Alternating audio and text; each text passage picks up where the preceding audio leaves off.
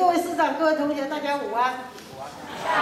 长午安。我们今天真的是非常、非常、非常、非常的荣幸哈，通过云师老师的引荐哈，我们今天可以邀请到中华民国最年轻的政务委员唐凤委员来给同学们来进行一些个人的或者各位的想要知道的。或者想要了解的一些事情，哈，我相信这个今天下午的演讲是非常的精彩可期的哈。那我们就热烈的掌声来欢迎唐副唐副委员。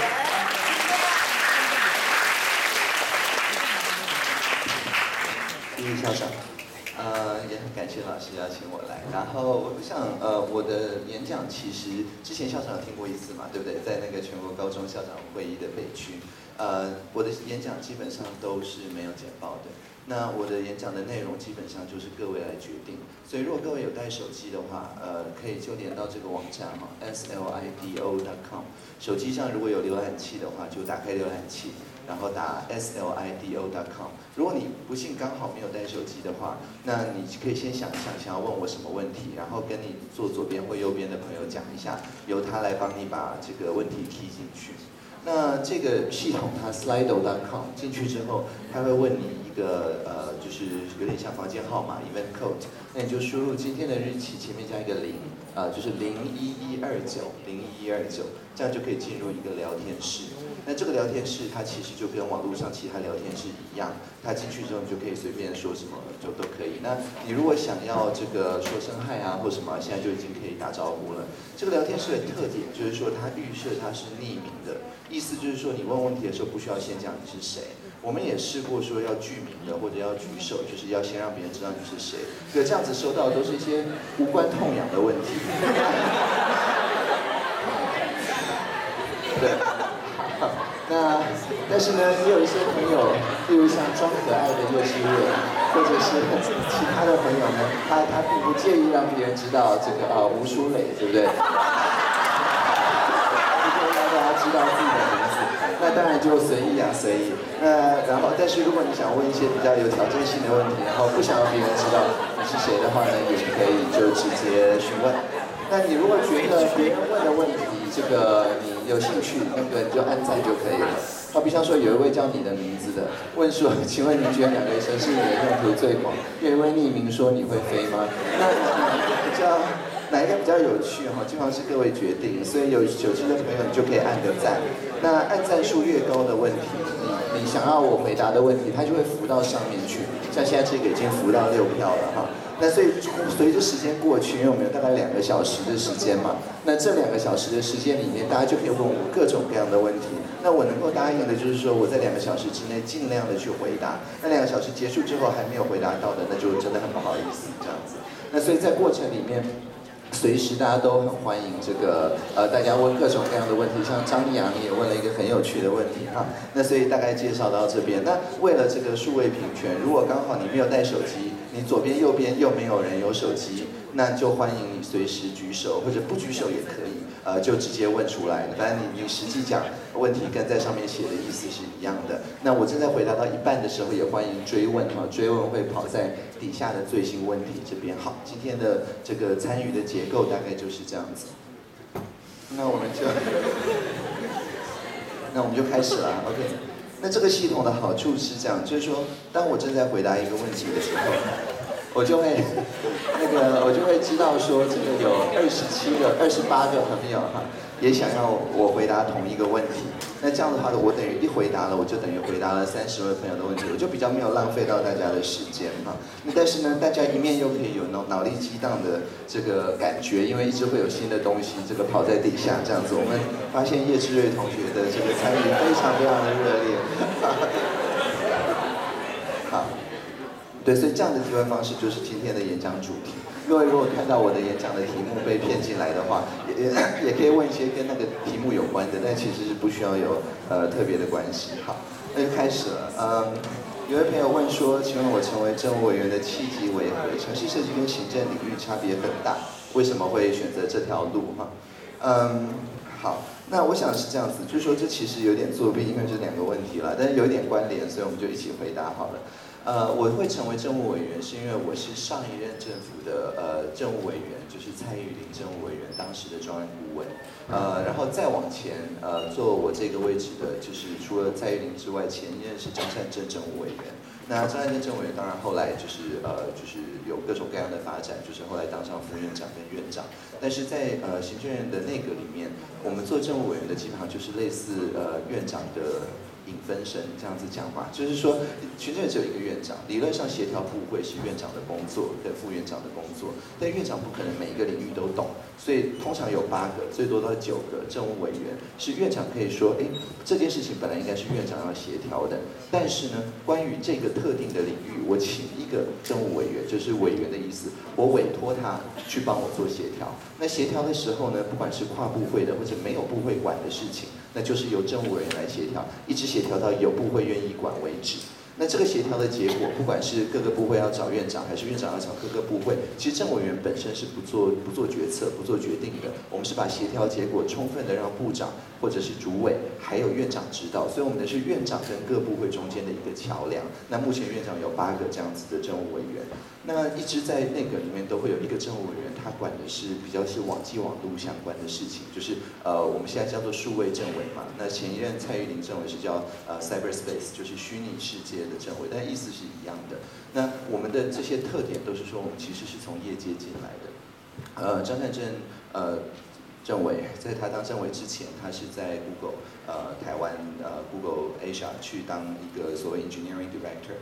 就是是一个工程的一个呃 Director。那在蔡玉玲政委进呃行政院之前，他本来是 IBM Asia 的法务长。那我在进去之前，本来是苹果的一个开发的一个顾问。所以我们其实都是这种跨国公司，有一些工作的经验，也比较知道说网际网络其实不是单一国家在管的，所以我们比较能够做这种类似外交，可是外交不是跟别的国家外交，是跟很大的这个别的实体外交的这个工作，所以这个工作就是说城市设计的工作，或是呃这一类演算法的工作，其实跟我现在的工作并没有任何太大的改变。所以我现在还是写城市，我现在还是用各种方式去让我的行政上面的东西能够简化，让这个就是各个不同的朋友们能够呃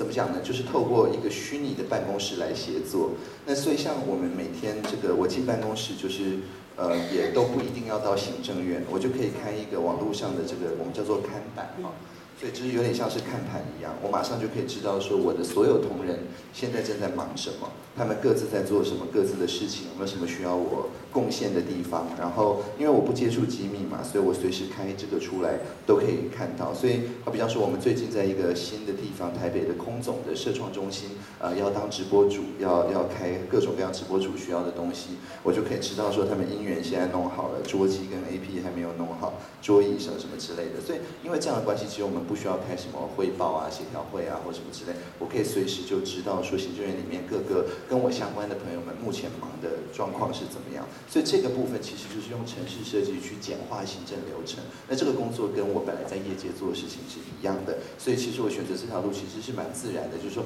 我本来就是在帮前任的政府的这几位政委去做类似演算法这种顾问的事情。那现在我们有点角色互换，就是说，哎，我进来然后也做类似的事情。那我在法律上或在其他部分有什么问题，那我还是会去问呢蔡云健政委，大概是这样子的一个契机哈。OK，呃，张立阳同学想要知道说为什么要留长头发哈？哎，好，那我想很诚实的讲，就是我懒得剪，就是这样，并没有什么 太多的意涵。对我我其实就是通常长到一个程度受不了，我就会去找那个发型设计师，然后就说那随便你这个怎么剪这样子。但每个人的美学品味不一样。我记得几年前有找过一个把我左边都剃光，然后右边还是留留很长，然后才发现说有一个歌手张悬，他当时也是留这个头发，跟他撞发。好，那就是说每个 每个人的。每个人品味都不一样，那我我并没有很看重这件事情，所以其实就是每次看他的发型设计师的这个品味是怎么样嘛，所以可能是这样。呃，Jane 想要知道说关于李明哲在中国被判刑这件事情的想法。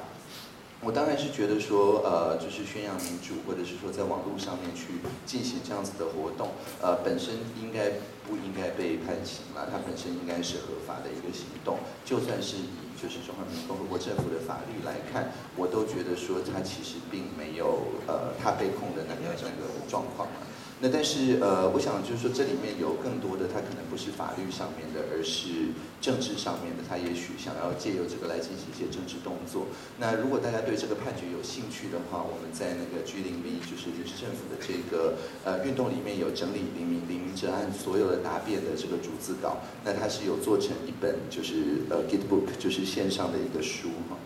呃。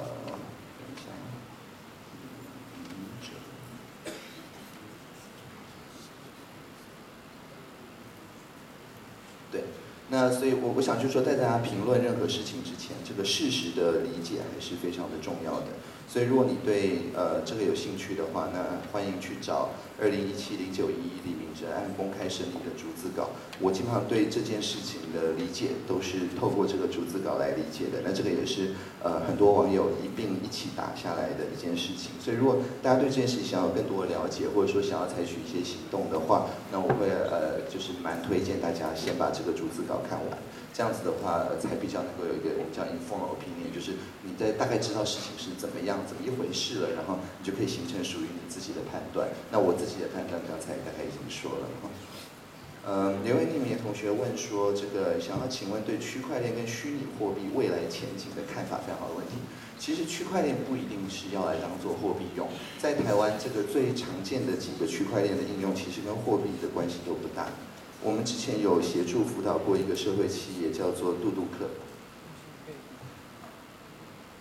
那这个社会企业呢，它做的事情其实很简单，就是群众募资。那大家可能也有参加过群众募资的专案嘛，我就不特别解释什么叫群众募资了。简单讲就是平常这个你都是先做完工作，然后才有薪水拿。但是群众募资是反过来，你先拿薪水再去做工作，哈，大概是一个不同的概念。所以就说你说你有件事情想做，然后请大家捐钱，捐到某个程度我才要做。那所以你就先确定说你会有一笔钱，然后再去做这件事情，这是群募的概念。那当然在台湾有很多的群募平台，那多多克这个群募平台的一个特点。就是说，它是结合区块链的技术，就是所谓以太坊的这个技术，它把你实际捐进去的钱都变成这个区块链上面我们叫 token，就是类似代币。那你就可以追踪这个 token 的流向。也就是说，以前大家捐助的时候，常常不知道说，哎，我是捐给好像说某个联合几个呃，就是 NPO 在一起的一个券募的单位，他又把它按照比例发下去，然后最后最后转了四五手之后，才到我真正想要捐助的那一个受益人。那在这个过程的这个金流，你当然可以去追踪，可你要看得懂会计报告，而且有的时候你要等一年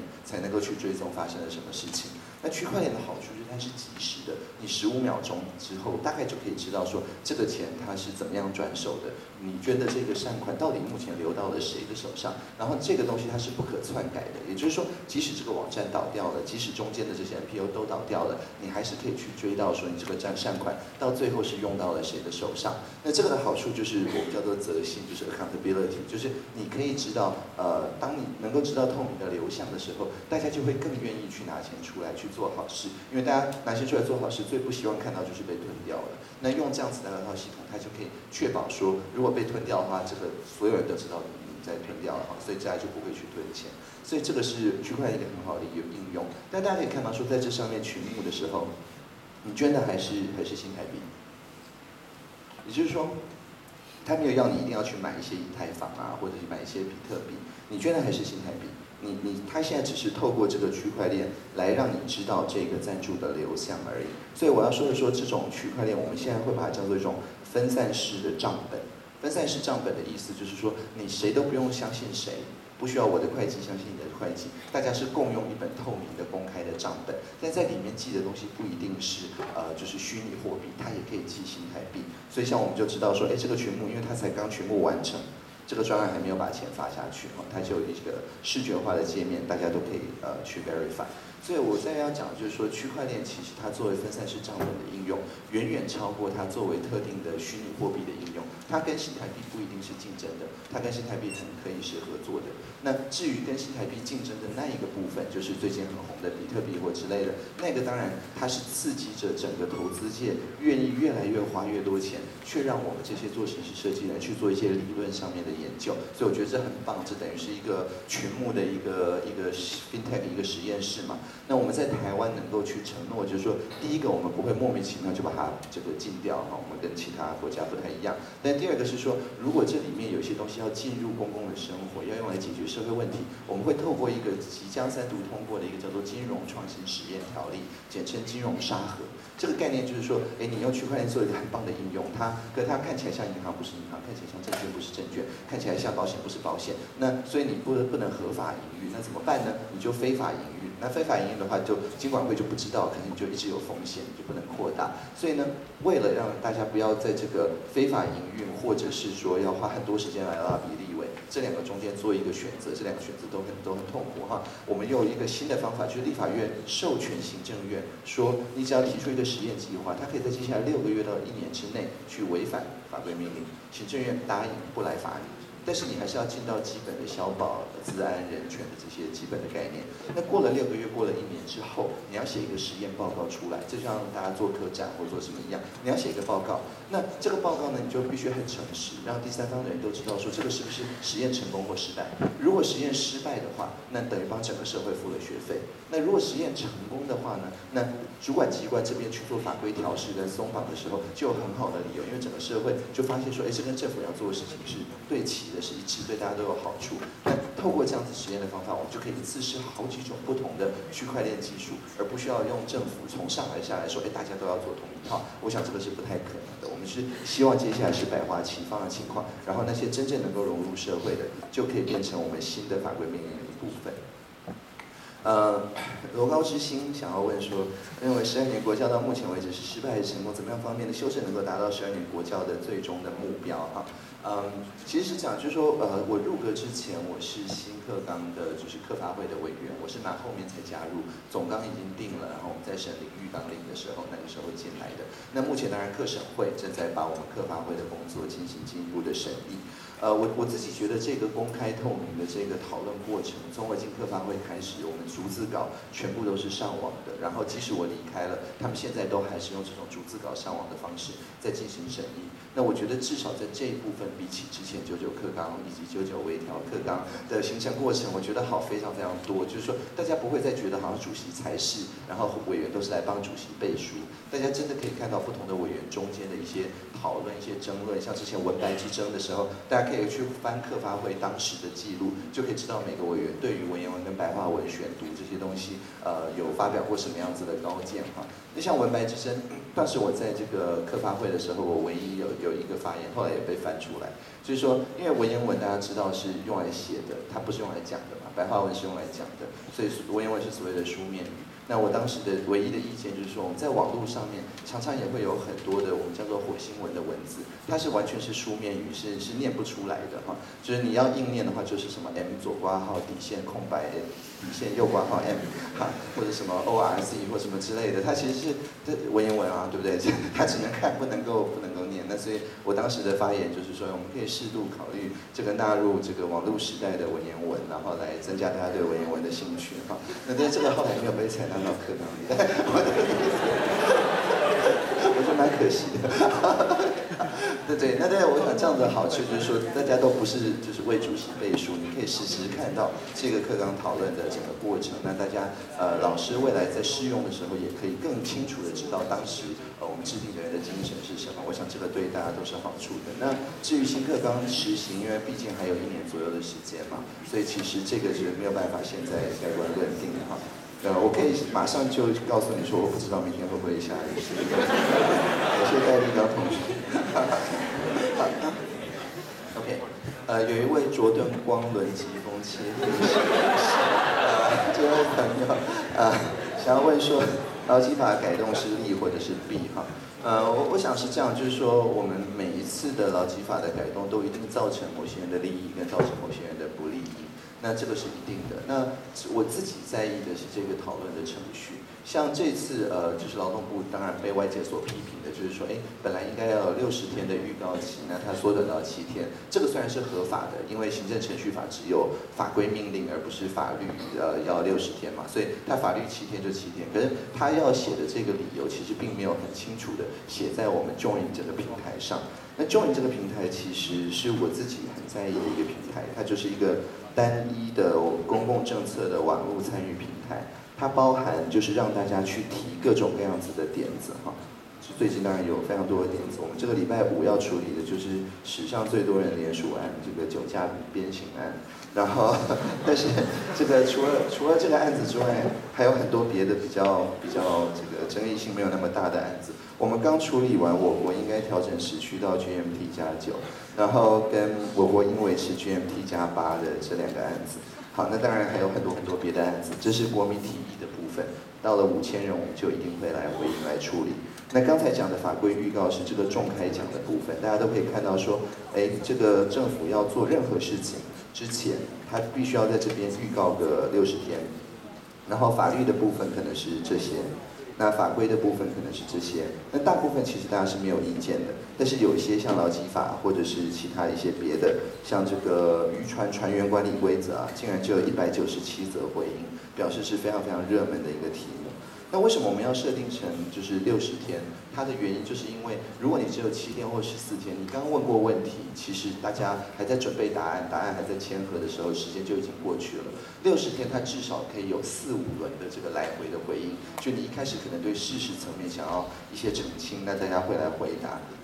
那接下来大家可能想要分享一些感受，提出一些意见等等，这样子才比较有好几轮的跟部会询答的这个阶段。所以我想未来就是说，如果它要比六十天更短的话，我们已经改了这个系统，它必须出具充分的理由，必须要填在这边，然后大家都会在这边看到。那这个是这次的程序上面让我们学到的一件事情。所以我我自己在意的并不是呃利或者弊哈，任何一个改动它一定都会有一堆有利跟一堆有弊的情况，重点是这个利弊中间能不能互相呃充分的讨论，而且如果有更多的可行方案的话，怎么样是就是让大家都觉得有利，而不是呃让大家都觉得有弊的这个方向去进行修改，像修改时区的那个提案。虽然感觉上听起来非常的无厘头哈，但是我们没有这个没有任何无厘头的案子，所以我们就是非常非常认真的再去讲说，台湾如果修改时区到跟日本跟韩国一样，等于所有人都要早一小时起床，早一小时上班，早一小时回家的这件事情，到底要付出多少的行政跟社会的成本？所以我们就请所有相关的部会去做了评估，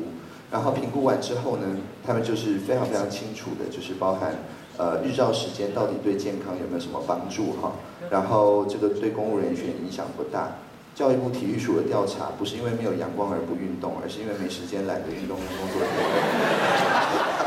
OK，然后。上下班通勤应该尽可能有日照哈，但是这个也会影响交通，两岸有雾啊，然后这个之类的。环保节能到底多降一小时，日光节约到底有没有省到电哈？那后来工研院他们调了研究出来，对空调来讲千分之零点三，对照明来讲没有影响。然后观光发展，清晨上班加班可以加比较久。那劳动部马上出了一个意见，说加班需符合劳基法规定。对于准时上下班的店家其实是没有影响，所以对旅游收益没有什么太大的影响哈。那对股市的影响并不大。那这个电信软体需要个别评估等等。好，那所以。然后这样算完之后，大家就发现说，哎，其实改动时区它成本并不是无限大，但它有一个成本，就是一次性调整社会要输付出来的成本，以及 ongoing 的成本。那它做来的效益，不管是在节能减碳、观光方面，看起来都是几乎没有，或者是可能还是负的哈。那所以就是不管两边的提案人，大家都可以同意说，其实为什么要改时区？原因还是希望这个就是。影响国际的能见度嘛。那那但是呢，这个就有人提出一个很好的论点，就是说，即使我们改了时区，那中华人民共和国政府只要说，哎，这是一国两制的一部分，哎，忽然之间又又又就是就是并没有办法有效的去取消这个这个话术，所以我们同样是要改时区，要付出这么大的成本，我们不如问说，那我们用同样的这个社会成本，有没有其他的解决方法可以去回应呃这个提案的人他实际真的想要解决的那个问题，而不是卡在一个特定的解法里面。所以后来我们大家就开始 brainstorm，就花了非常非常多的时间去说怎么样凸显台湾的软实力啊，然后这个最可行的各种方法啊等等啊。那所以大家花了大概五六个小时的时间，两边不同的提案人都归纳出很多可行的方法。那这些可行的方法，我就是在呃这个礼拜一也跟行政院长跟其他同事们讨论。所以我要讲的是说，并没有任何讨论是浪费的。他只要大家能够就事论事坐下来，到最后还是可以收敛出对大家都有益的一些东西出来。好，呃，请问我觉得哪一个城市语言的用途最广？呃，我这个时候我就要作弊一下，就是说，我觉得你的朋友正在用的城市语言就是用途最广的城市语言。任何人问我都是这样子讲，因为城市语言就跟自然语言。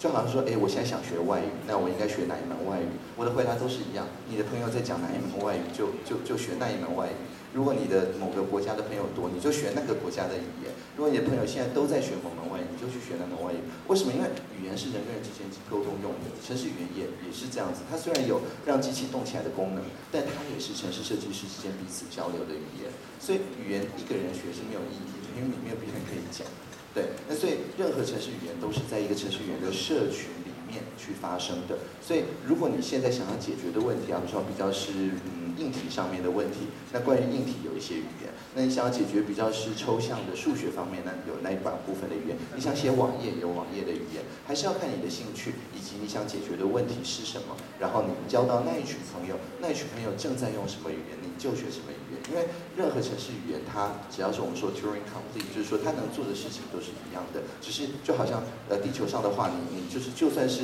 很很简单的，你只有一些词汇，你比手画脚，到最后对方还是会理解你的意思。那所以你学任何一门城市语言之后，你对别的城市语言，你都差不多等于已经学会三四成了。啊，那这个概念要有，所以这个想法就是一个我们叫做除魅，就是 disenchantment 的一个想法。你学第一门程式语言以前，可能觉得这是很很神秘、很了不起的东西，但当你学会第一门之后，你就会觉得其他都都没什么。所以就是重点还是第一个找到自己有兴趣的，然后学到你觉得这没什么的。态度，那这个态度之后，你学别的城市语言都很容易。那这个跟我们说学法律素养也是一样的，不是大家到最后都要去当立法者或者当法规会的呃委员，但是大家都可能要了解说，哎，六法全书不是什么了不起的东西，你在线上随便就可以查到。那有些法学的素养啊、人权啊这些基本的东西，大家在学习阶段可能。国中、高中的时候就已经有基本的了解，公民课都会上到。那这些部分就是让大家觉得，哎，法律并不是很神秘，只有律师才会的东西，而是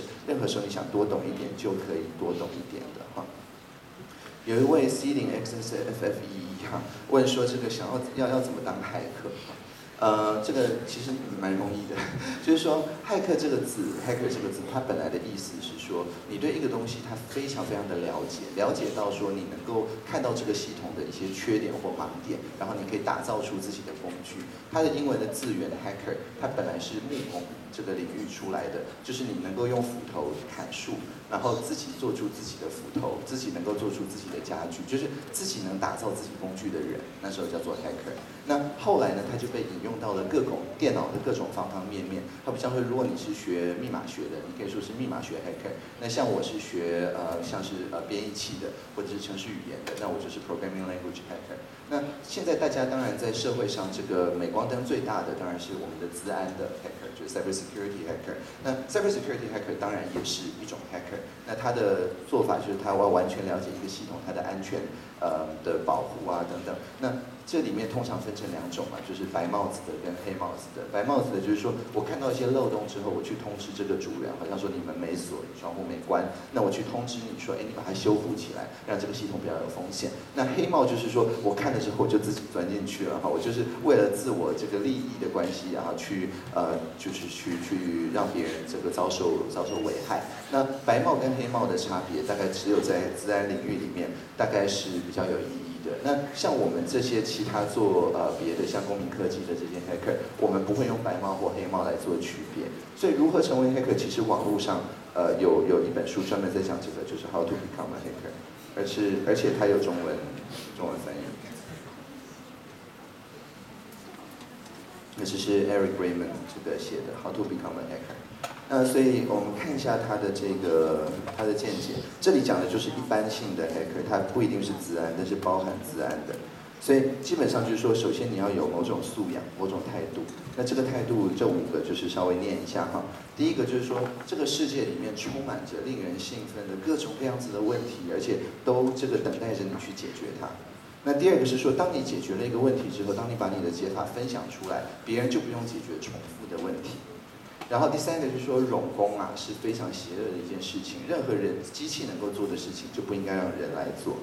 那第四个是说，你有各种不同的选择的这种自由是一件好事情。然后第五个就是说，即使这个你有最正确的态度，你还是要有这方面的专业。你要有专业才能够真正的解决问题，大概就是这样子。所以其实这个这几个态度，其实就是我们新概念国教 自发互动共好的一个态度哈，就是学会了，然后愿意去分享，呃，有这个专业领域的素养的同时，也不吝于去教比你不会的人等等。那所以在这里面有一个所谓的 hacker culture，hacker culture 就是我做出任何东西，像我是抛弃所有的著作权，那有些人抛弃部分的著作权，那抛弃了之后，别人就可以用，用了之后你就可以跟他产生一个连接。然后就可以开始呃一起做一些就是是一个人做不起来的事情，所以这个就是大概一一两句话讲如何成为改革的方法，就找到你真的很感兴趣、很想解决的社会问题，然后跟人组队打怪去把它解决这样子好。然后 OK，那继续呃这个我对多元成家的看法嗯。我当年就是伴侣盟在推这个多元成家三法的时候，我当然是觉得说这三个加起来是一个相当好的一个配套。但是当然后来大家社会主要还是聚焦在呃就是呃婚姻平权的这个部分。那我觉得也没有什么不好，因为毕竟大法官先处理了那个部分嘛。那所以我们现在并没有放弃在这个会期之前把行政院版的婚姻平权的法案把它处理好的这件事情。那这件事情处理的过程，同样的也比结果重要。结果大法官已经实现，结果一定就是那样。但这个过程就是不要让社会上觉得婚姻很重要。台湾离婚率已经越来越高了，婚姻的价值是神圣的等等的这批朋友，跟呃觉得说一定要平权，我生来是怎么样就是怎么样，我为什么要配合其他人哈？觉得这样子的两两群朋友，呃要能够对焦，因为其实这两群朋友有一个共同的特点，都是对婚姻很看重。那我对婚姻就很不看重，我觉得婚姻没有什么意义。但是这两群朋友，这个都都很看重婚姻，所以他们中间的同质性一定比跟我的多嘛。所以在这样情况下，其实我觉得他们是很能够而且很应该去去对话的哈，大概这样。好，那有位朋友问说，这个我要怎么样面对负面的这个评论哈？嗯，对，例如像这个匿名的朋友，刚刚突然间冒出了一个负面评论，OK，呃，我对，好，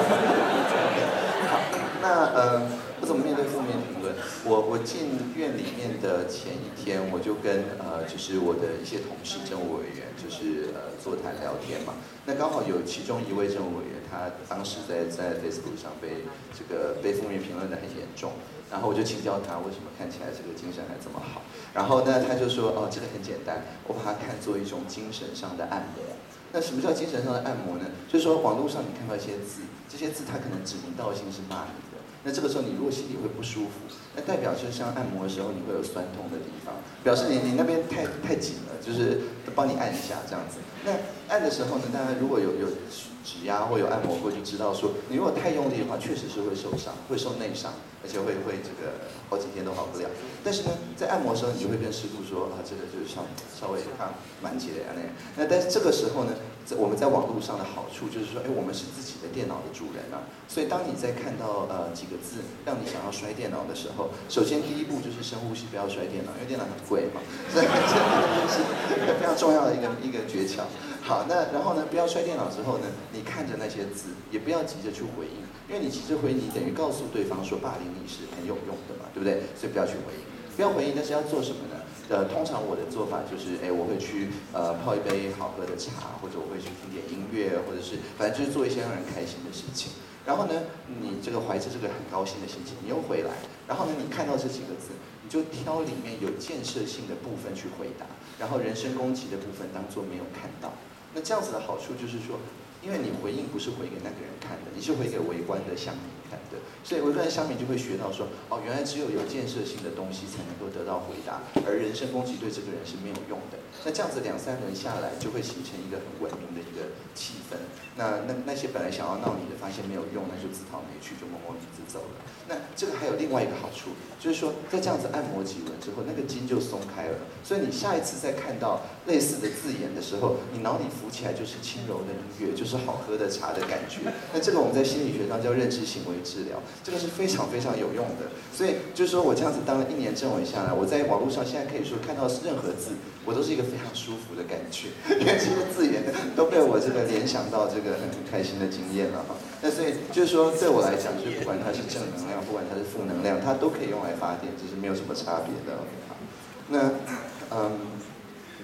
呃，C 零 X F F 一一想要知道说，台湾有网军吗？对于台湾的治安有什么看法？以及对台湾最近重大资讯安全事件的看法？嗯，台湾如果有网军的话，我也不知道为什么呢？因为我进院里之前，我跟院长有三个牢固协商的条件。那其中一个条件就是说，呃，我希望按照政府资讯公开法，那些在没有做成决定以前的事情，本来是不应公开的，除非对公益有必要。但是呢，我希望院长能够了解一件事情，就是我认为我主持的每一场会议，我去看的每一个东西，哈，J K 点 P D S，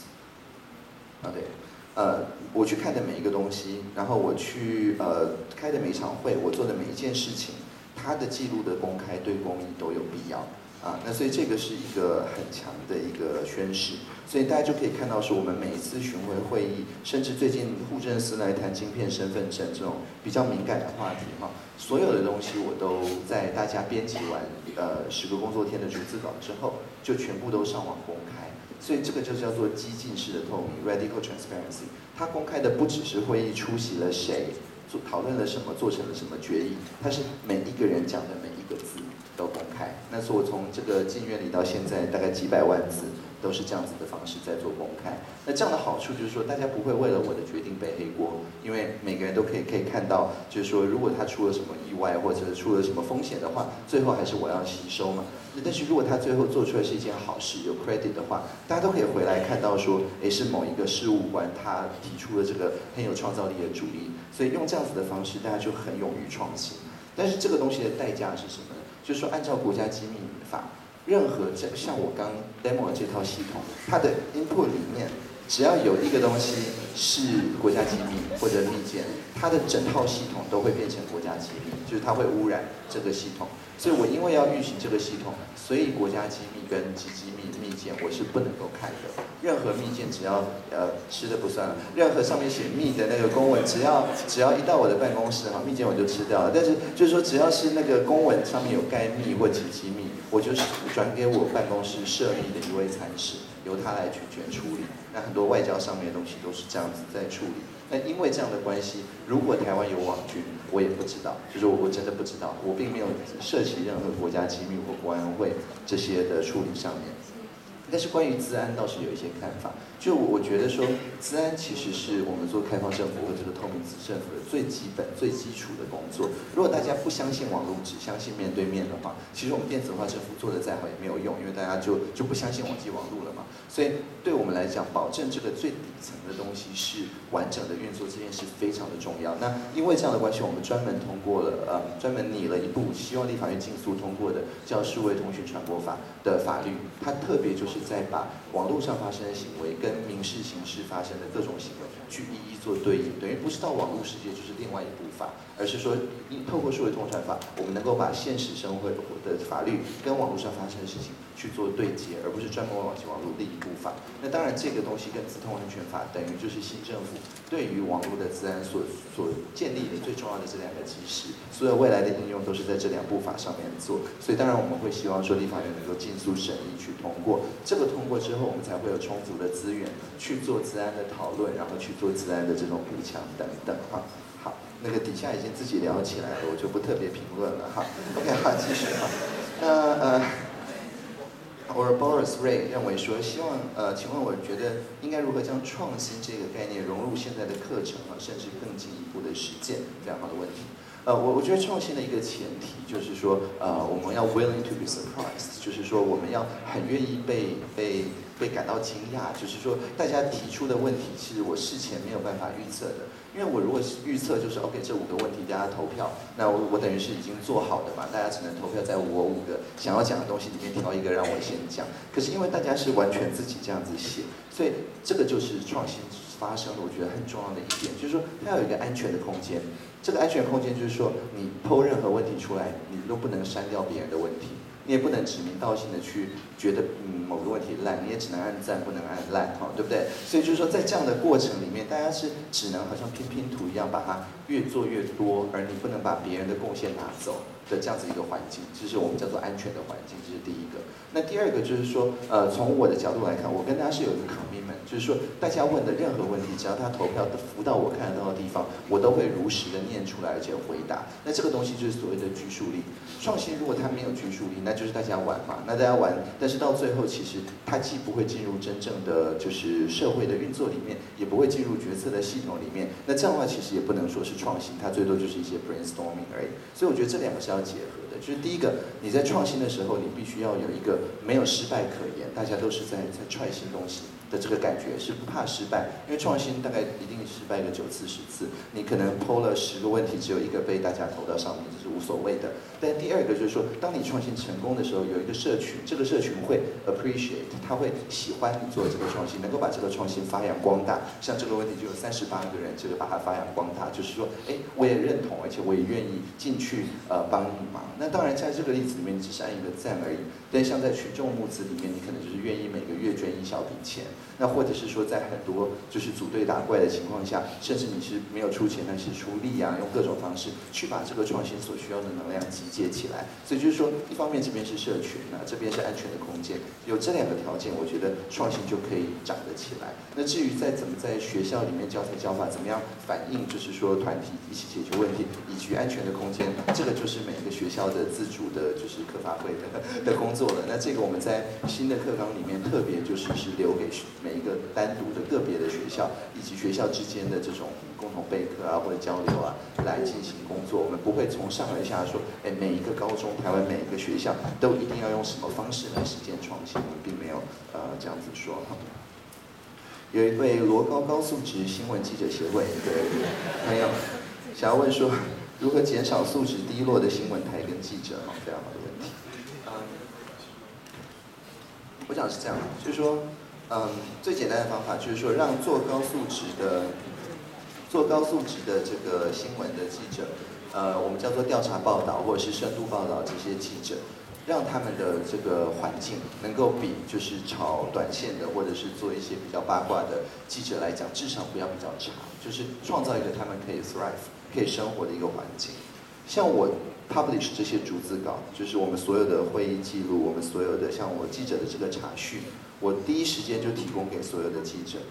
这个好处就是说，因为大家都要赶即时新闻，都要赶发稿，那所以从他们的角度来看，如果没有逐字稿的话，他们就是先凭印象写一写，或者是说开完会之后随便找其中某个与会者，呃，问他两句。那问题就是说，会议可能二十个人参加。三个不同的记者各自访到三个不同的人，常常报道起来这场会议就好像三个不同的平行世界这样子的情况是非常非常常见的。那而且如果会议没有完整的记录，可能有人还偷偷录了一分钟的音，然后就爆料给记者，可是前面后面的脉络都没有哈，所以就有一个爆料，可是实际上这个爆料是完全是无中生有。那这整个怎么解决呢？就是我们有一个让事实的传播比谣言容易的这样一个概念。所以我每次一个记者会一结束，一场会议结束之后。他通常是当天，我就把所有的逐字稿直接给所有来与会的记者朋友们。这样的好处就是说，他要做调查报道，他要做深度报道，要做专题的朋友们，他就不用再花额外的时间去整理这些东西，他就可以把时间直接花在有。就是物超所值，就是比这份报道、比这个逐字稿有意义的这个部分。那那些炒短线的或者素质低落的朋友们，他们可能只是要赶 deadline 啊。那这样他们至少就可以把这个逐字稿里面某一段他觉得，哎，这这段不错，是个亮点，那我就把它直接拷了，然后我就直接发稿了。事实上，我们常常看到这样的情况。为什么我们知道？是因为我们有时候还来不及改错字，然后那个错字就直接跑到新闻上面去了。所以，就比方说他发稿的过程真的是很赶，他直接靠逐字稿就上稿。可是，即使是这样子，也比他自己听到一个很片段的东西。要来得好，所以我觉得这个就是我们要尽可能的用各种自动化以及各种程序上的方法，去让呃高素质的报道比较容易发生，而去让那种抢时间的不一定是他想要低素质，而是这个时间只能做出这样子素质的记者，有第一手的比较快的这种素材，这样子他即使赶时间也不会做出那么低素质的东西哈。有位朋友看到 slide 说加上你的名字，他就写加上你的名字，哈，这是非常有创意哈。那有位加上你的名字，所有朋友说可不可以谈一下我的求学生涯？呃，都可以啊。我念了三个幼稚园，六个小学跟一所国中，那所国中只念了一年多一点点，所以我这十所学校我都各自只念了一年啊。然后我好像没有写过暑假作业，就是 对，因为因为每一年就转一个学嘛，所以就不用写暑假作业对。好，那呃，那当然就是说每次转学的理由都不一样嘛。但是我想呃有一个共通的一点，就是说后来我大为什么就是在国二的时候就跑去创业，就等于辍学了的的原因，就是说，诶，我我一直是想要解决问题，或者是想要嗯对某一个领域有所贡献。我一直不是想要考一百分或者跟别人比较，所以我只要一碰到某一个教学环境，他是把学生跟学生之间做相对的比较，好比像我考一百分，他考九十分，好像我比较厉害啊。可是这个是是完完全对我来讲没有意义的东西，因为有意义的东西是我跟你怎么组队去解决问题嘛，这样子。那所以我一直对合作或者我们现在叫 collaboration，跟陌生人合作叫协作哈，呃比较有兴趣。那但是我对竞争完全没有兴趣，所以只要是竞争型的教育，我就不适应。然后我就会一直转学，那所以这是个人的求学生涯。那后来到了网际网络上，就发现说，哎，大家都非常愿意合作，都没有竞争的问题，而且事实上学到的东西都是课比课本超前，可能十年的呃这种第一线的研究的学者，我写个 email 过去，他也不知道我才十四岁，就很认真的就把我当做这个研究的同产。呃，一起来进行工作。那因为这样的关系，我就发现说，哎，这个学习环境实在是好太多了，所以后来就没有再继续在呃国民教育体系里里面去工作。那但是我后来这个创业大概两年之后，我就发现说，哎，不对，创业它还是需要理论工具。你你完全不懂会计，完全不懂管理，完全不懂这些东西，其实是是是会碰到各种问题的。所以那个时候我就又回到大学去旁听。那我就旁听的课，每一门都是我觉得我用得到的课，网络社会学啊这些课。那这样子的好处就是说，我的求知欲就比我正规只是为了要考试一百分的这个求知欲高大概十倍左右。因为我真的碰到问题，我需要这些理论工具来解决问题。所以我现在想法一直就是说，大学是你需要用再去用的东西。你如果还没有觉得你需要用到大学，那就不要去用大学的这这件事情。那这件事情其实我们现在的学位授予法以及一些教育部的一些政策也正在往这个方向调整。所以，好像你高中毕业之后。你就是想要呃先去投入职场，或者先去试着做一些事情。那甚至教育部还有个什么存折计划，可以帮你把大学学费先存起来。或者你进了大学，你大一是某一个系，那但是你大二想要到同一个学院的别的系，未来也会有所谓的学院为本本位的课程哈，去让你这个自由在系中间移动。或甚至你大一、大二做完之后，你就想去实习了。那实习之后回来，过两年再回来念大二、大大三、大四。或甚至你到最后拿到的那个学位，已经不是你是某。某系的毕业生，而是像一个游戏，这个各种成就解锁，你解锁这个模组，这个模组，这个模组，未来都是有可能的，哈哈。嗯，有一位便当多好有同学，问说这个 教育部没有明文规定学校不可以定外食，为什么学校校规可以预约教育部？我每次那个。像我上次去上上次去中山大学的时候，被投票到第一名的就是他们这个什么教育部没有明文规定不能脱掉学生的机车，为什么车管会可以脱掉学生的机车嘛？啊，所以就是说到每个学校都会碰到这一类，我我我不知道我要怎么回答，可能校长比较适合回答的 的的事情。对，那当然就是说不管高中还是学校都有一定程度的自治啦，但是这个自治或这个校规的参与的过程或讨论的过程，现在也越来越多学校，像中山。他们就直接呃仿照刚刚那个 Join 平台做了一个联署，做了一个讨论，从就是铜像要不要保留开始，然后一直到这个车管会的各种议题啊等等，他们都开放让学生跟呃老师在网络上面，就是谁也达不到谁的那个地方去进行讨论，然后收敛到一定的程度，再到面对面的这个讨论。你的朋友希望校长不要生气。OK，所以我觉得当然校规有有一定的讨论的空间了。OK 好，嗯，同一位这个 C 零 X F F E 这位朋友说，为什么会成为台湾传奇骇客？有什么影响了我？呃，我我想我我早年是很受就是呃 Hacker Culture，就是骇客文化里面的几位呃就是元老影响。那对我影响比较深的，可能就是刚才我说那个 How to Become a Hacker 的那位 Eric Raymond。那他其实有蛮多呃，就是作品都已经有翻译成中文，那就包含 Hackers Dictionary 啊，或者是 Cathedral and Bazaar 之类。那他当年就是呃，像这个是他设计出来的代表 Hacker 的一个一个 emblem，就是一个算是徽章嘛。那这个东西它是呃一个叫做呃 Wolfram 的人，呃，他最近也是呃这个叫做生命游戏了，所以等一下 Life。Game of Life 是康威呃这个人设计出来的。那呃 Game of Life 是一个在围棋棋盘上面玩的游戏。而它的规则非常非常的简单，就是叫做康威生命棋。它规则非常简单，就是说你在这个呃棋盘上面随便放一些子，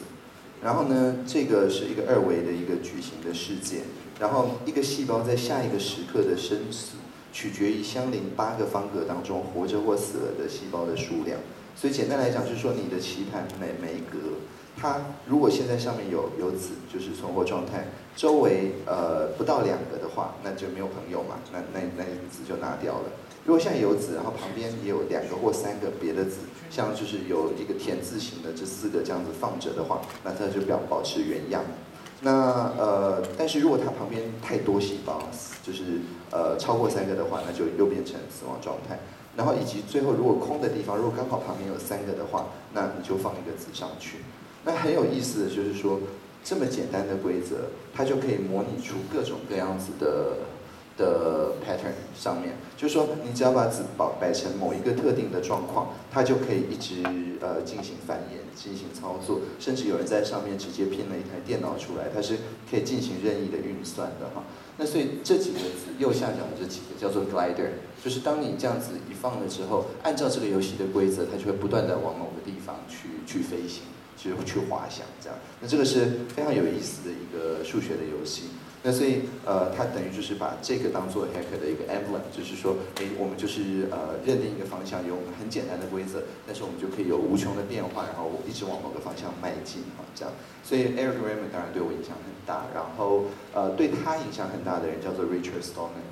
那它就是呃，就是我们就是所谓自由软体这个概念的一个开创者。所以如果对自由软体或者是对开放源码有兴趣的话，稍微找一下应该就可以找到。好，比方说 Linux 的作者 Linus Torvalds 啊，或者是 Perl 的作者 Larry Wall，那这些呃 hacker 大概都是早期影响我比较深的的一些朋友。那当然后来他们的很多工作是我像 Larry Wall 的工作是我接下去做，做了一段时间，所以我又影响了新一辈的 hacker 嘛，大概是这样。那 hacker 这个字其实很有意思，因为我们在黑客圈里面，它不是自称的，就你自己叫自己 hacker 没有用，就跟刚刚那个 Game of Life 一样，是你旁边的人都叫你 hacker 的时候，你你才成为一个 hacker，大概这样。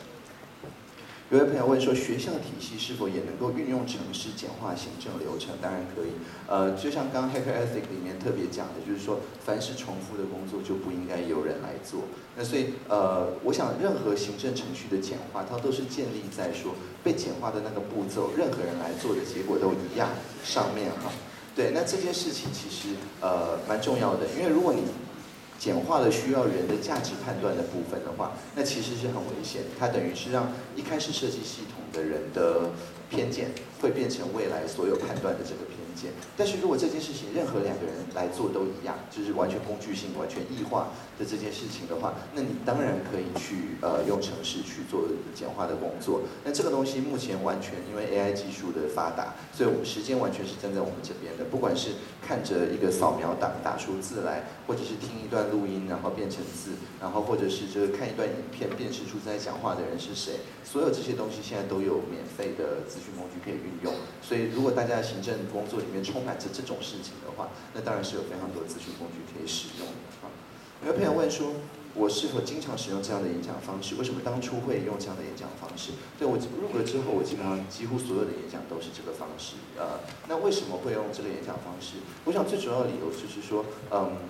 我没有办法跟手机去竞争各位的注意力，所以我就直接放弃。就是说我我们在一般的，就是当智慧型手机普及，就是大概二零一五年以后，我所有我们这些做 public speaking 的人都碰到一个非常大的困扰。就是说，我当然可以请大家关关关震动或关静音，这个是没有问题，大家也愿意配合。可是，呃，在就是自己一个人划手机的情况下，你不会受到旁边的人的同产压力，所以大家还是会一直划手机。所以就变成说我不管正在讲什么，那大家就无论如何都还是会就是看手机这样。那这个时候呢，因为我我我自己以前就是设设计 social media 的的设计师，我当然知道说我们用了多少心理学的方法，让大家的注意力不会从我们设计的东西里面划走。我们当时没有想到是说，当你手机上面有三四样这样东西的时候，就像是鸡尾酒一样，就是你脑里还来不及处理完一个通知讯息，下一个别的城市的通知讯息就来了，大家就会在一个持续性的，好像没有办法处理掉事情的一个多巴胺回路里面。那所以在这件事情上面，就是我们没有办法跟手机上面灌超过三个不同的即时通讯软体的朋友竞争手机对他的注意力的的这个呃 monopolize，就是他的他的掌握。那怎么办呢？对不对？那所以我们只有两个选择，一个就是不准大家用手机，那这样的话，这个大概就不会，大家不会来了，这是一定的。那另外一个就是，我就征收大家的手机嘛。所以就是说，为什么现在大家在 Slido 上面可能还用的还蛮愉快的原因，就是因为我 Slido 的界面，我们是。刻意的，像因为中文是我帮忙翻译的，我我刻意的把用用词或者是 layout 或这些东西，把它弄成跟大家习以为常用的，不管是 d c a r 或者是 Facebook 或者是 Instagram，反正尽可能把那个 icon 弄成一样啦。那或者 Line 之类的，那这样的话大家就会有一种嗯，我有在划手机的这种感觉。但是这个他在划手机的这个认知的呃资源是投入这个演讲的，对这个演讲有利的，而不是跟这个演讲完全没有关系的。那这样子的话，我就可以一方面知道他最关心的事情是什么，然后二方面我不用跟手机抢大家的注意力哈，大家的手机是跟这个演讲是相符合的，所以通常就是所谓打不过就加入，是是我们的 投降输一半啊，对，那所以就是说手这个手机太厉害，我们我们就投降。那那但是就是说至少把大家的一半注意力也能够还是拉回演讲里面来，大概这样。请问我对于学测五取四的看法？我对学测五取四很不幸的没有看法啊，因为我我是我是国中中辍生，我从来不需要去想学测两个字。对，那当然这有点作弊了。但是我我我要讲的是说，呃，我我真的觉得大学是需要再去用的东西就就可以了。我们尽可能把政策设计到这件事情。那关于学测，我说真的目目前并没有什么看法哈。呃，对一例一休的看法，好问题。呃，其实我我自己觉得说，台湾现在就是在一个我们之前在处理七天假这个问题的时候，我我们有盘点过我们在就是转型的过程里面，经济转型的过程里面，呃，当然理想状态是说，哎，所有荣工都能够充分的自动化，但是就算是最乐观的估计，就是对 AI 最乐观的估计，所有的荣荣工都自动化这件事情，也大概是十年之后才会比较充分的发生。那因为这样子的关系，所以接下来十年到底到底我们要怎么过，就变成一个很重要的事情。因为如果只有少数人能够掌握这些自动化的资源的话，那到最后就会变成基本上就是新的奴隶跟主人的这个阶级嘛。那所以这件事情，我想呃蛮重要的是，因为我想要找七天假的那个 real time board，可是找不到，来搜寻一下七天假消失。好吧，Anyway，那总之呢，在这个我们在盘点七天假的那一件事情的时候，我们就发现说，其实大家对于现行的劳基法，就是呃在修正前或者修正到现在，其实是在一个重新认识的过程。就是说大家都发现说，其实呃劳工因为在台湾长期下来对工会的这个组织并不是非常鼓励的情况下，并没有非常的 aware 说在他们现现有劳基法里面能够运用的工具有哪些。当然我们发现就是当空服员罢工或一个比比较大的罢工发生之后，现在大家对劳权开始比较有意识了。那我觉得这个才是治本的一个方法，就是说如果大家对劳权有意识的话，那劳基法是大家可以运用的。如果劳权没有意识的话，那到最后不管法条定的再多，大家还是会觉得说啊，我一劳检我就会被发现，然后我就被 fire 这样子的情况。所以我觉得，就是大家对于劳权这件事情，整个社会正在重新认识。那这个法律它只是最最最基本的的一个保障而已，大家。理论上，在所谓的先进国家，是每一个各行各业的劳工，他有能力去跟资方谈判，或甚至他运用自动化工具就变成自营商等等的这样子一个方式，才能够争取更更好的劳动条件。所以说，我想这个劳基法是地板嘛，它是这个地板是大家可以经过充分讨论去制定的，但是真正的重点还是在劳权教育的这个落实。呃，影响我人生最多的人是谁嘛？当然是我自己。但是，呃，这个有什么别的回答吗？OK，呃，对，但是，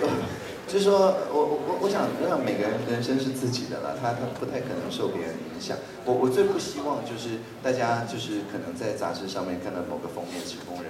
唐风啊之类，然后说哦，我就要跟他一样，这样这样其实是很很很不幸的，因为基本上就是你是牺牲掉自己本来可以成为那个可能性，要去迎合什么别人。像我刚刚讲的那几个，就是呃 t o b a s 也好，Larry Wall、Richard Stallman、ESR 这些人，我我并不是受他们影响。不受他们人生影响，我对他们人生了解不多，我是受他们的工作所影就是说，他们创造出来的东西，我觉得很棒。然后我好像火炬啊，接棒这样子，我接了棒子下来，然后再多走一段路，然后再交给下一个人。那受彼此的工作所影响，我觉得是非常好的。受彼此的创作所影响，但是如果是说，哎，你很喜欢这个作者，然后我就去模仿他的这个行为举止、穿着生活等等这些，当然可能很有意思啊，以一个 cosplay 的立场来看。但事实上就是说，对于你成为你自己的帮助是非常非常有限的，所以也希望大家不要太被唐风影响。OK，有一位罗高之星哈说，这个面对中国的一带一路，台湾的新南向政策该如何达成理想？台湾担任的角色该是什么？非常好的问题。嗯，台湾其实有一个得天独厚的地方，就是说我们不管是像刚刚讲在做金融科技创新、做人工智慧创新、做这些创新，我们都是在这个 不同的那个。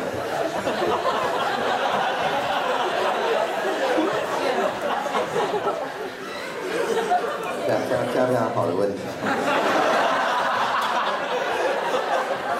呃，就是像是问问我这个支不支持这个独角兽这个维护他们的权利，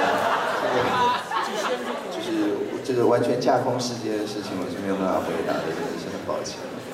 好，继续 OK，嗯，就是面对中国的态度，呃，我想台湾这片独特的地方就是说，我们不管是就是呃。中华人民共和国政府为首的这种我们叫做 closed internet，就是它不是真正的 internet，它是呃一个完全由国家力量所掌握的一个内部网络的一个秩序，或者是以美国为首的所谓 open internet，但是事实上它是非常倾向于呃就是西股的，当然嘛，所发展出来的这一套 internet 的这个秩序，那又或者是说欧盟的可能比较以人权为价值的等等的秩序，台湾都是 player，那这个其实是很很罕见的。通常在一个国家的 vendor，他不会这种三边都靠、三边都不靠的这个情况，他会在某一个秩序里面去发展他的国家的经济。那我们在往呃就是数位经济上面，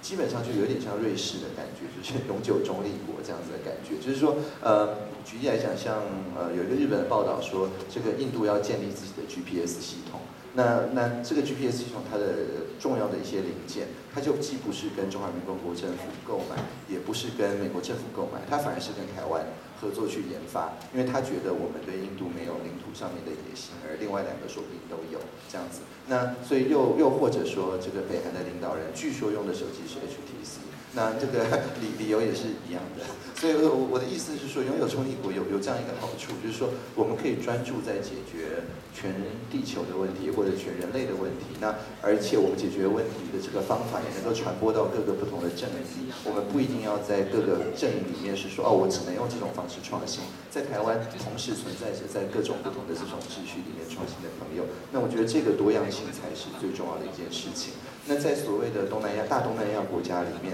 西南向政策，我想有一个很重要的，就是说我们这个多样性也要表现在我们尊重新住民，尊重他们不同的语言、历史文化。而这个尊重呢，不是我只是好像把你当人看那种尊重，而是说我愿意去学习、愿意去了解这样子的尊重。那这个东西只要一做出来，我觉得我们在呃这个方向，其实在文化上面或者在科学的贡献上面，其实是比完全只砸这个贸易或只砸金钱来讲，大家都更愿意就是跟台湾有双边或者多边的这个交流。所以这是我自己觉得啦，就是说台湾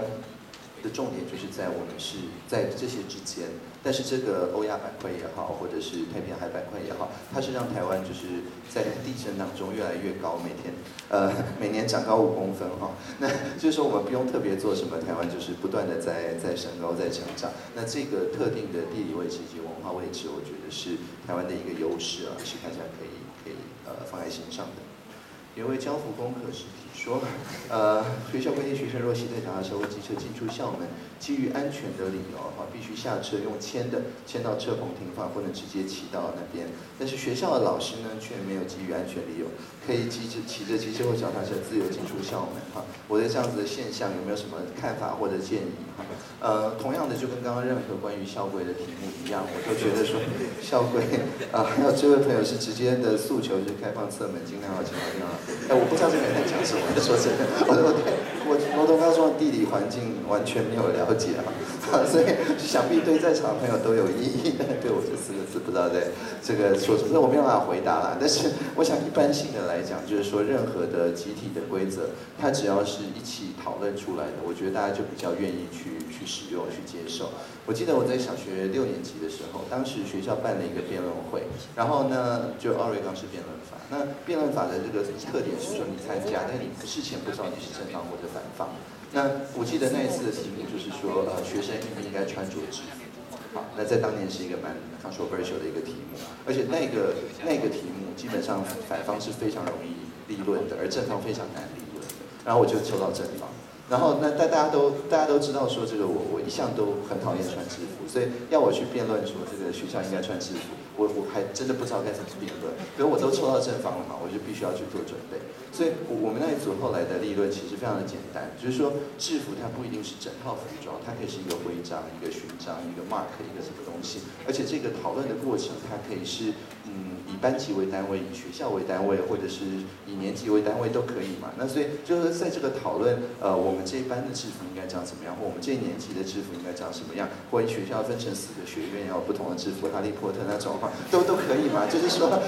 就这个讨论的过程本身就是凝聚大家的认同感的这件事情。那只要不是说，哎，我们讨论完之后，接下来学弟学妹就非得照着我们讨论的不可。那这样子的讨论其实对大家都有帮助。后来我们辩论比赛那次。好像是赢了，所以我的意思就是说，任何规定它只要是大家早期参与的哈，其实就就就没有什么太大的问题。好，呃，有二十八位朋友想要知道，对于课纲去中国化，我的立场是什么？嗯，当然，我在课发会的时候，当时整个社会领域是被冻结的。当时我并没有参加社会领纲的的讨论，所以这个题目其实我没有 well informed，就是我没有看足够多的资料来告诉各位说新的社会领域纲领，呃，它是不是有去中国化的这件事情。那但是我这边可以分享的就是说，我们有很多这个底下又聊起来，OK，对，这个，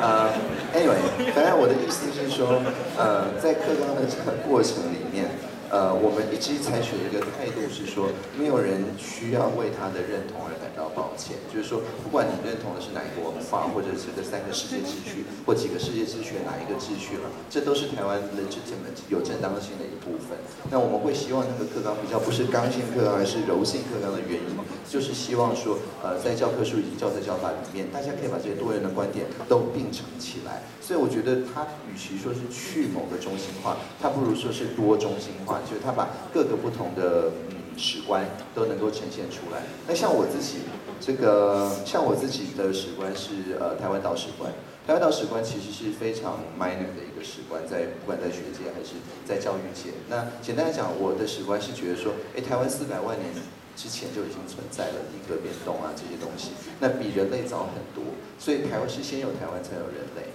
那有很长一段时间，其实台湾不是人类的。那大概从现在算起四百万年以后哈，那大概我们也不会是这个，就是可能有新的物种会出现，可能我们已经去别的星球了之类。所以从地质学的角度来看，我们只是刚好人类在台湾建立一个文明，那我们有责任去把这个地方呃照顾好，让新的智慧生命有可能出现，生态系不要破坏等等的这些部分。就是说对我来讲，这个生态系本身的重要性。大于人类文明的重要性。那但是这个是非常非常少数的一个史观，就是基本上大概没有谁是这样子 在在在制定课本的。但这就是我的一个看法。那但好处就是说，在台湾不会因为我主张这么小众的东西，所以就变成 呃被 呃小。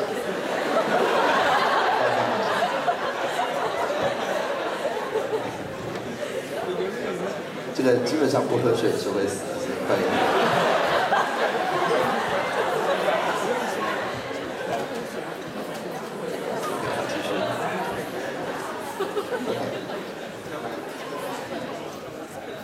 好，那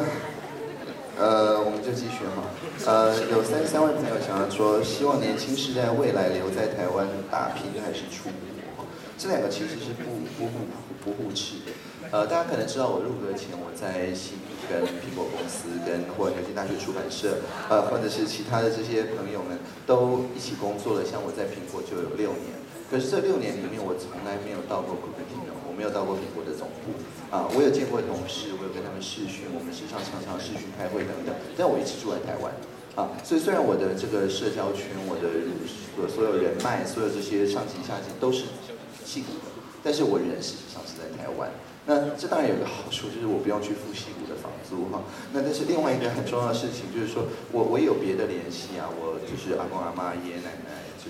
都都在台湾嘛，那我还是想要多陪陪老人家，那我这个关心的这些动物啊，也都还在台湾等等，所以就是说，从我的角度来看，我在这边这个情感上的联系，跟我工作上面跟国外的朋友一起工作，其实是不相冲突的，而且实际上对我还是更好的，因为对我来，因为我很讨厌开会，所以我就是每天半夜，他们在早上九点的时候，我们就开一个十五分钟的会，不超过一小时。那再多我就说半夜我要去睡，不然要怎样？那然后那我我我醒来之后，他们就已经下下午已经下班了，所以他们把他们做好东西交给我，然后我 review 一下，给他们一些意见，然后老师批改作业这样。对他们来讲，就说你写作业的时候，你一定不希望老师在你肩膀旁边一直看嘛，对不对？当然是写完之后再去进行工作。所以就是大家也不会觉得说我是一个很难搞的主管，因为我基本上都不在。那所以大家做完之后，我再进行批改，那这个时候也比较不伤感情。他们也是睡觉起来之后才看到我批改的结果果，所以。从这个角度来看，我跟我的团队中间关系就还蛮好的，所以这件事情就是我善用了时区上面的差距，然后去达到团队上面经营比较好的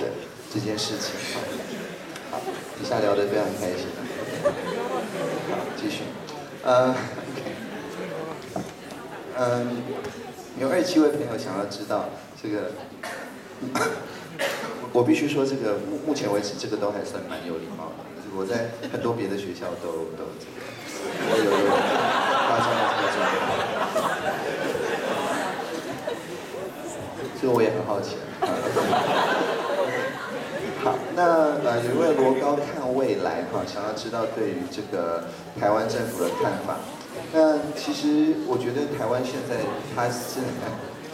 正在一个很有意思的一个转型期。就是说，以前大家在威权时代，我我这一辈算是记得戒严的最后一辈了。我弟弟比我小四岁，他已经不记得戒严是是什么东西了。对，所以呃，但是解除戒严的时候，我八岁九岁，所以其实我还记得戒严前。的就是戒严前的那个状况，那那个状况就跟就是李明哲案那个时候的状况差不多嘛，甚至有过之而无不及。那所以我想在戒严时代跟在戒严时代成长的这两辈人，他对很多事情的最根本的那个感受，他不是不是概念上的，不是学理上的，是说到底大家随便这个是没大没小，这个在演讲的时候一直在底下聊天，到底是表示有活力，还是表示没礼貌？这个其实是。就是根深蒂固，我们可以学教育学，告诉自己说这个都是很好，团体动力什么。可是只要是在戒严时代成长的人，他就是会有一个我们叫心中的警钟，就是说会觉得说这件事情好像哪里不太对劲。但是各位都已经不记得戒严时期了，所以各位都会觉得说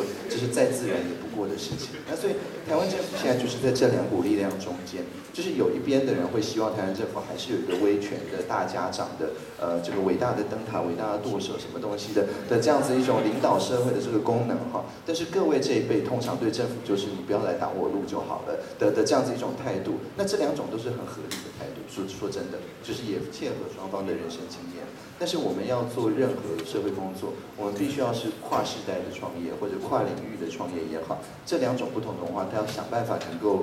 结合起来，然后去取双方的一个最大的一个公约数，然后才有可能进步。那这个就是我现在在就是政府里面扮演蛮蛮重要的一个工作，就是一个我们叫转移的工作，就把这边 concern 的事情翻成这边听得懂，把这边 concern 的事情也翻成这边听得懂。那我觉得，当然现在有一个运气很好的，就是说，呃，像，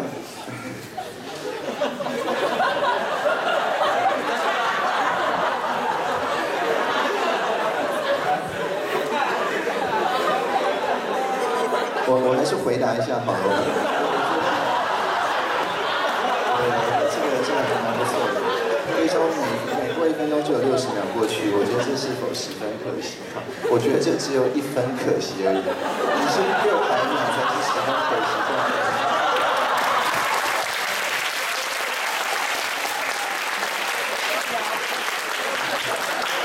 对，在单位的换算还是要稍微这个在意一下。我们我们先回到这个台湾政府的看法，所以我想台湾政府的看法就是说，我们现在是在这个跨时代的呈现的这个过程里面，那这个过程里面的一个前提就是说有一个新的东西出现，像呃我常举一个例子，就是说有的时候就是孙子孙女跟阿公阿妈在沟通的时候，都会有一些题目一边特别懂，而一边特别不懂的这个情况，就是你跨两个时代嘛，特别有这个情况。但是呢，像有一些新的东西，像呃之前 Pokemon Go，我不知道大家有没有在抓宝可梦哈，我抓了五天。那说到五天之后就觉得不好玩了，就没有继续玩了。但是在那五天里面，我就看到非常多的就是阿公妈 阿妈带着孙子孙女，或者孙孙女带着阿公妈，你很难知道哪边在带哪边嘛。然后一起出去去去抓这个就是宝可梦。那而且就是啊，你渔网啊什么什么之类的这种东西会此起彼落。那在这个情况下，你就看不到之前那种好像有点呃竞争或者有一点 tension 有一点张力的关系，因为这个东西对两个世代都是新的，然后双方都在中间有所学习有所贡献，而且甚至如果中生代就是爸爸妈妈这一代，这个甚至有空的话还可以有更多的贡献啊，很多人可以去骑车或开车一直开在时速三十公里，可以一直抓一直抓这样子，就是说每一代都有所贡献，那这个东西是对大家而言。都是新的东西，所以就可以放下说我比你更懂，我比你最懂的这样子一个情况。那这个部分就是我们现在面临 AI、面临 AR、VR、面临刚刚大家提到的区块链等等这些东西，这些对每一个世代来讲都是没有听过的。所以这个时候跨世代的整合就变得比较容易，就不会一直卡在就是现有的东西里面哈。好，那嗯，接下来的问题这个相当。这个有挑战性，这个就是需要匿名，大概是需要匿名才能够问得出来的问题哈。请问立法委员是否真的都是智障，还是是假的？呃，我我想是，就是说。呃，立法委员其实有他们的苦衷，我要我要帮这个委员朋友们这个说一句话，就是说，其实大家如果透过大众媒体来认识立法委员的话，大众媒体他每天选新闻的时候，选的是他能不能够在五秒钟之内就激发你的情感，让你分享出去，以至于大家能够去点阅，点阅之后能够看广告的新闻。也就是说，从大众媒体角度来看，立委是帮他们卖广告的。那那在这个情况下，呃，在这个情况下。呃，很多立委他就算是很认真的问诊，他也必须要排那种五秒钟专门给记者拍的这个桥段啊。那所以在这个桥段里面，你当然看起来他很智障，很无脑，很耍宝，对。那但是呢，这个这件事情其实是。呃，激起媒体对他在这工作还有最起码的兴趣的这个前提，所以你要说他是这个智障是装的也可以，就是说他是让人只花五秒钟就可以理解，因此他当然不可能做很知识性的论述。可当他引起媒体对他足够多的注意之后，他就可以做为他想要推动的法案或他想要倡导的理念争取到更多的焦点哈。那所以这个其实是蛮蛮无奈的，这也是我们没有当立法委员的这个原因之一，因为因为这样子其实是是嗯。其实对很多朋友来讲，尤其是立委助理的朋友来讲，你同时要安排就是非常像是相声或者是搞笑的这种桥段，你又要安排这个非常 serious 的桥段哈，这个其实是会有一些困难。但是我发现各位都没有这个问题，可以一面听非常非常这个认真的讨论哈，一面非常会的在底下抛这个各各种各样子的。这这实在是实在是蛮棒的。那接下来，嗯，对于实验教育的看法与经验分享。台湾其实是在我们有金融创新实验条例之前，其实我常常在国际的举的例子，就是我们有实验教育三法。那实验教育三法其实，在亚洲，尤其在亚洲国家，其实是非常非常领先的，并没有什么别的亚洲国家像台湾这样子这么早就容许，不管是个人形态、团体形态或者其他自己办学的形态的这个教育。那这个教育的好处就是说，它让呃惯性教育，国民教育 有有一个有一个对照有一个实验组，那这边是对照组，它会给呃国民教育一定程度的刺激。就是说，如果这边实验实验的相当成功的话，那这边就会有一个 pressure，是说啊，我们下次课纲检讨的时候，我们应该把实验教育里面这些 proven 的这个东西拿过来。而反过来讲，实验教育也不都是成功的，实验教育有很多是对大家没什么好处的，我就不特别点名了。那但是这个好处是说，他这样子实验两三年，这种教育教法，它就自然的淘汰掉。那淘汰掉之后，它当然也不会进入国民教育。所以从很多角度来看，我们在做新课纲的时候，我们是把实验教育里面实验成功的那些部分加到新课纲里面，而实验并不成功的部分呢，那就是因为。大家是自己提出申请的啊，那等于就是自己愿意接受这样子的一种实验。那我想这个成功或失败，它并不是一个看你考的分数，或看你的这个工作或怎么样，它最后还是看这个学生自己觉得怎么样。就是说他自己如果觉得说这套实验是他愿意接受的这件事情，那么这个实验就是成功的。但是如果这个学生觉得说他相对方法需要调整的话，那这个实验就是让我们知道说有调整的必要。实在太太可爱了。OK，好，呃，有二九位朋友想问说，呃，我致力于政府的这个透明化，但是在社会的参与度却没有那么显著，对此有何看法以及有何作为？非常好的一个问题。其实我们刚刚提到这个 Join 平台，台湾才两千三百万人嘛。呃，我们的呃参与的人数不是人次哦，就应该已经接近五百万，或已经到了五百万。所以从两千三百万里面放四百多五百万，其实是很多的。呃，从各个民主国家来看，台湾的参与的这个程度可以说是应该是最高的，或者最高的之一。那人次的话，在最近一年，我们也达到了可能超过一千万人次。那所以大家对对于不管是联署，不管是法令的预告，不管是呃各种各样子公共政策的参与，其实我觉得是越来越热，而不是而不是没有那么显著。但是这是最近一两年才发生的事情，所以在此就是可能二零一四三一八之前。大家是确实会觉得，大家对民主越来越冷感，可能是因为大家对投票去选人这件事情越来越冷感。但是当我们研发出一整套像参与式预算，大家是投票选预算啊，或者像这种联署，大家是投票去选公共政策的议案。或者是等等的这种，你不是选人，而是选选概念、选想法、选法案、选预算的这个方法，大家就觉得很有意思。因为我不是四年才能参与一次，每一次只能投一票，我不知道投票有没有用。而且之前的这种选举的问题，就是说可能有接近一半的人都是觉得他是输家，那这个心理感觉就不太好。但是你连署十个案子，就算只有三个成案，你还是赢家。参与式预算，你就算投了五票，只有一个盖起来，你还是赢家。它并没有那么大的对抗性或者冲突性。所以像这种比较不对抗、比较不冲突、用更好的这种方式来规划的参与，我觉得是越来越显著的。那我是相当的这个乐观的哈。罗高看未来，想要知道过多的社会参与会不会让台湾成为民粹的社会，是非常好的问题。呃，基本上就是说，它完全是看这个参与程序本身的设计。如果这个程序本身是让各个利害关系人是能够参与讨论的，它就比较不容易成为民粹的社会。如果这个东西看起来就是完全不可变动，那大家就是试着去侵入这个系统，找出它的漏洞的话，那当然很容易就玩坏掉了。所以，我想这件事情，大家如果玩过线上游戏，应该有一个知道有一个概念叫做就是 in in imbalance 嘛，imbalance。那 imbalance 的意思就是说这个游戏不平衡。它不平衡到你只要用某些特定的角色，选某些特定的道具，用某种特定的组合，那你就赢定了。那别人也不觉得好玩了，因为这个游戏就等于被破解了。那但是呢，每一个好的游戏开发商，基本上就是综合这种重度玩家的这个精神，让大家能够试出这些 balance 的地方，然后就去调规则，就去把这个游戏重新再平衡。那这件事情就是民主制度最需要的，就是说这个制度不是神圣不可侵犯，不是说宪法一定了永远都不能够再改等等，那样子的话就很很容易出现 imbalance 的情况，而是说在我们这个运作的过程里面，只要一看到 imbalance 的情况发生，你有办法让大家知道，然后透过正当的程序去修改。那这种自己能够修改自己的程序，我们叫做 recursive public，就是自己嗯我们叫做递回的一个公众。那这样子的公众就比较不容易流于民粹的社会哈。呃，C 零 X F F 一问说我会不会参加 HeCon 哈，还有会不会打 CTF？呃，我去 HeCon 基本上可能就是去致辞颁奖。那个我我我自我真的不是 Cyber Security Hacker，我我自安的论文大概看得懂，但是我其实这方面并没有比别的东西专精，这不是我研究的领域。那我我知道 CTF 怎么打，那去就是上一次的那个比赛，他们专门为了 CTF 设计出一个什么九位元电脑什么东西，那我觉得非常有意思，我也大概有看那个题目，但是那个就是不是我的专长，所以就好像是说我呃平常会可能打一些桌球或什么，但是我绝对不会去试大运比赛，是是一样的道理，就是说我有业余的实力，但是我其实并不是这方面的国手哈。呃，有位朋友说，这个，请问我对于物联网、物联网未来发展的这个感觉？物联网，我想是呃，Internet of Things 嘛，就是关于各种各样的东西的网络。但是呃，我我自己比较在意的是另外一个，就是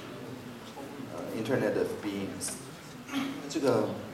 应该是施正荣老师吧提提出来的概念。那这个是我在国外这个演讲的时候常常念的，就是我写的一句。也算是短诗或者是一个祈祈祷文吧，这个 prayer。那简单来讲就是说，诶，大家可能会看到呃物联网嘛，那但是我希望的是 Internet of Beings，就是呃不只是 things，然后也是 beings，就包含呃人啊或者动物啊或者所有这种有有感受的这些呃生生命，呃也是透过网际网络联合在一起，它不是只是联合的东西而已。那同样，大家可能看到 virtual reality，那大家看到 VR，第一个想到就是那是不是大家都成天就是宅在家里，然后跟一些幻想的朋友们互动？但其实 VR 也可以让就是在远距之间没有办法感受到彼此生命经验的人，更能够感受到彼此的生命经验。那这样就是 share reality。那同样，我们训练大家会关心的是说，这是不是只是机器在学人类的东西？人类没有办法去学习。这个机器，也就是说，人的工作品质没有办法因此而提高。那但是我们也可以用这样的方法叫做 collaborative learning，就是机器不是取代掉人类的工作，机器是把人类工作里面人类不想做的部分做掉，那让人类去做更适合人类在做的沟通的呃人文的工作。那另外还有就是所谓 user experience。我们在设计的时候，常常会去看一个 KPI，就是说，呃，我设计一个 App，我能够去抓住使用者多少的时间，这个所谓使用者体验。但事实上，重点是，不好意思，他你用了这么多时间进这个 App 之后，你到底你的你的生活的情况、你的情绪、你的人际关系有没有改善？那这个是 human experience。所以我觉得说，不是重点，不是在使用者花多少时间在你的作品上，而是说他有没有透过你的作品变成更好的人。那最后就是说，在戏骨有个讲法，就是在 singularities near，就是我们很快会到一个技术上面一个奇异在这个之后，人类都变成不是人类，会一种新的文明出现。但是我自己希望的就是，哎，是有一个 plurality，就是我们现在像刚刚讲说，台湾有各种各样多元的文化、多元的价值，那这个其实是一件好事，不是说是大家去追逐最新最潮的科技，大家都要变成一样的超人。而是说科技让我们更更能够成为我们自己，但每个人是一个不同的维度。但是在这个的过程里面，大家又可以透过科技彼此联系在一起，那这个叫 plurality。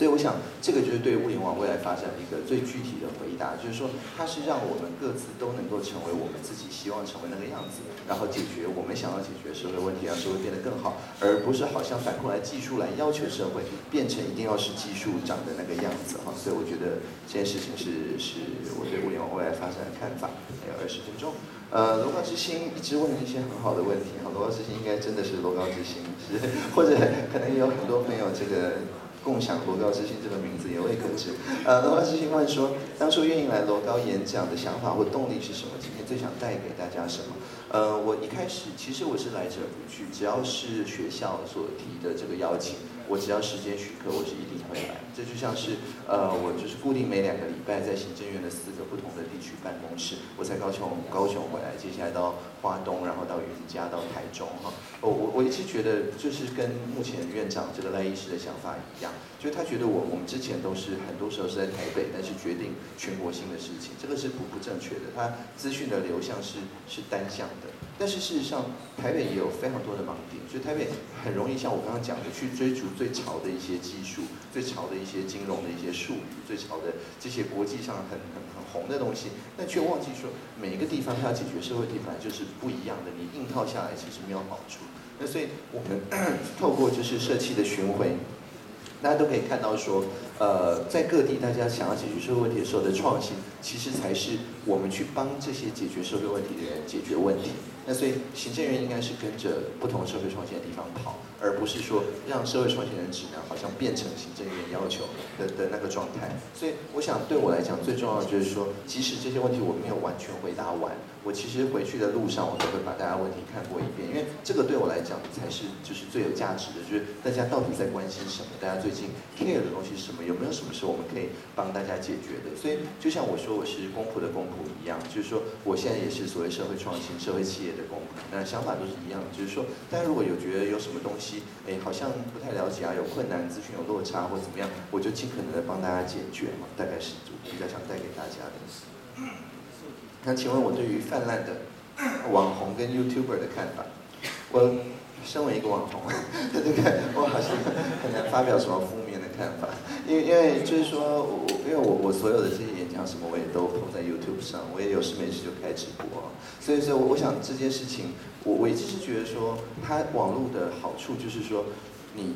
在看一个 YouTuber 直播的时候，你其实跟他在一个同样的空间的感觉，这跟以前广播或电视是不一样的。广播或电视非常清楚就是单向的，就算你可以 call in，那个 call in 你也知道，就跟大乐透一样，大部分时候是打不进去，而且你那个议程的设定权还是在那个主持人或广播者或者是这个 curator 的手上。可是当你在看直播的时候，不是这样子啊，就像我现在在 Slido 演讲这边一样。就是大家都会这个不断的给我一些勉励哈，就像按爱心一样哈。那但是就是说，大家就可以知道说，我们是在同一个空间的，而且这个空间是双向的，不是因为我手上有麦克风就完全只有我有话语权。大家在看网红或直播主的时候，大家都知道说，他只是一个 hold 住这个空间的人，这个空间的内容事实上是大家一起决定的，不管你是透过留言还是按鲜花还是按什么别的东西哈。所以我要讲的是说，这个事实上就是我们在数位通讯传播法里面。的一个最重要的概念，就是说，以前的这种广播法、电视法这种有一个发送端、有一个接受端的这个概念，在网际网络的时代是再也不适用。它本来不管你是所谓的收听人，还是所谓的网红，大家都是平等的，都是网际网络的使用者。那所以双方并没有不对等的权利关系。那因为这样很多早期管制性的东西，我们可以因此而加以去去解锁、去采访。所以我觉得。网红也好，YouTuber 也好，都是大家在实验这种新的环境里面，更多的人能够彼此倾听的一个，算是一个雏形，一个 prototype。那未来当然透过 VR、AR，或者我们有在实验一些，像我戴一个眼镜，这些空的椅子上突然都冒出另外一个教室的人，等等这些方式，我们会把更多的实体的世界跟网络世界联合在一起啊。呃，有一位零点零，你看这就是文言文，我念出来就不好笑。有一位零点零说，这个如何培养思考与创新的能力？嗯，当然每个人的学习风格、学习形态是不一样的，但是有一个共通点，就是说，如果你呃是急着在短期内解决问题的话，几乎你就不会用创新的方法解决问题。也就是说，呃，爱因斯坦的讲法是说，要培养跟问题相处的能力，就是说，大家在脑里有一个问题解不开，或者有一个困难、有一个挫折。你面对的时候，觉得说，哎，我就找不出方法来。那这件事情，大家可以很偷懒，就是赶快去 Google 一个方法，或者是问朋友，或者是呃，然后第一个听到了你就去做，那做不成再说吧，这样子。但是如果你没有把它在脑里放得够久，没有跟他相处的够久的话，其实真正有创意的方法，能够达到双赢或更好的方法，往往是想不出来的。所以我想就是说，跟问题相处足够久，然后一直保持在说我愿意被挑战，我愿意被收到新的东。西，这些东西我觉得才是最重要，就是要留一个不下决定的时间给自己，可能就告诉自己说，未来七天我就不会下任何决定。那这个时候，当你想到第四个、第五个、第七个办法的时候，你就会发现说，一开始直觉的那一个可能只是习惯而已。那等到养成这种能够打破习惯的习惯之后，其实创新是一个就是蛮自然的一件事情哈。有位肥嘟嘟左卫门想要问说，请问这个 我对安乐死的看法是什么？呃，我没有太多看法，我现在自己还没用到，我通常是要用到的时候才会开始。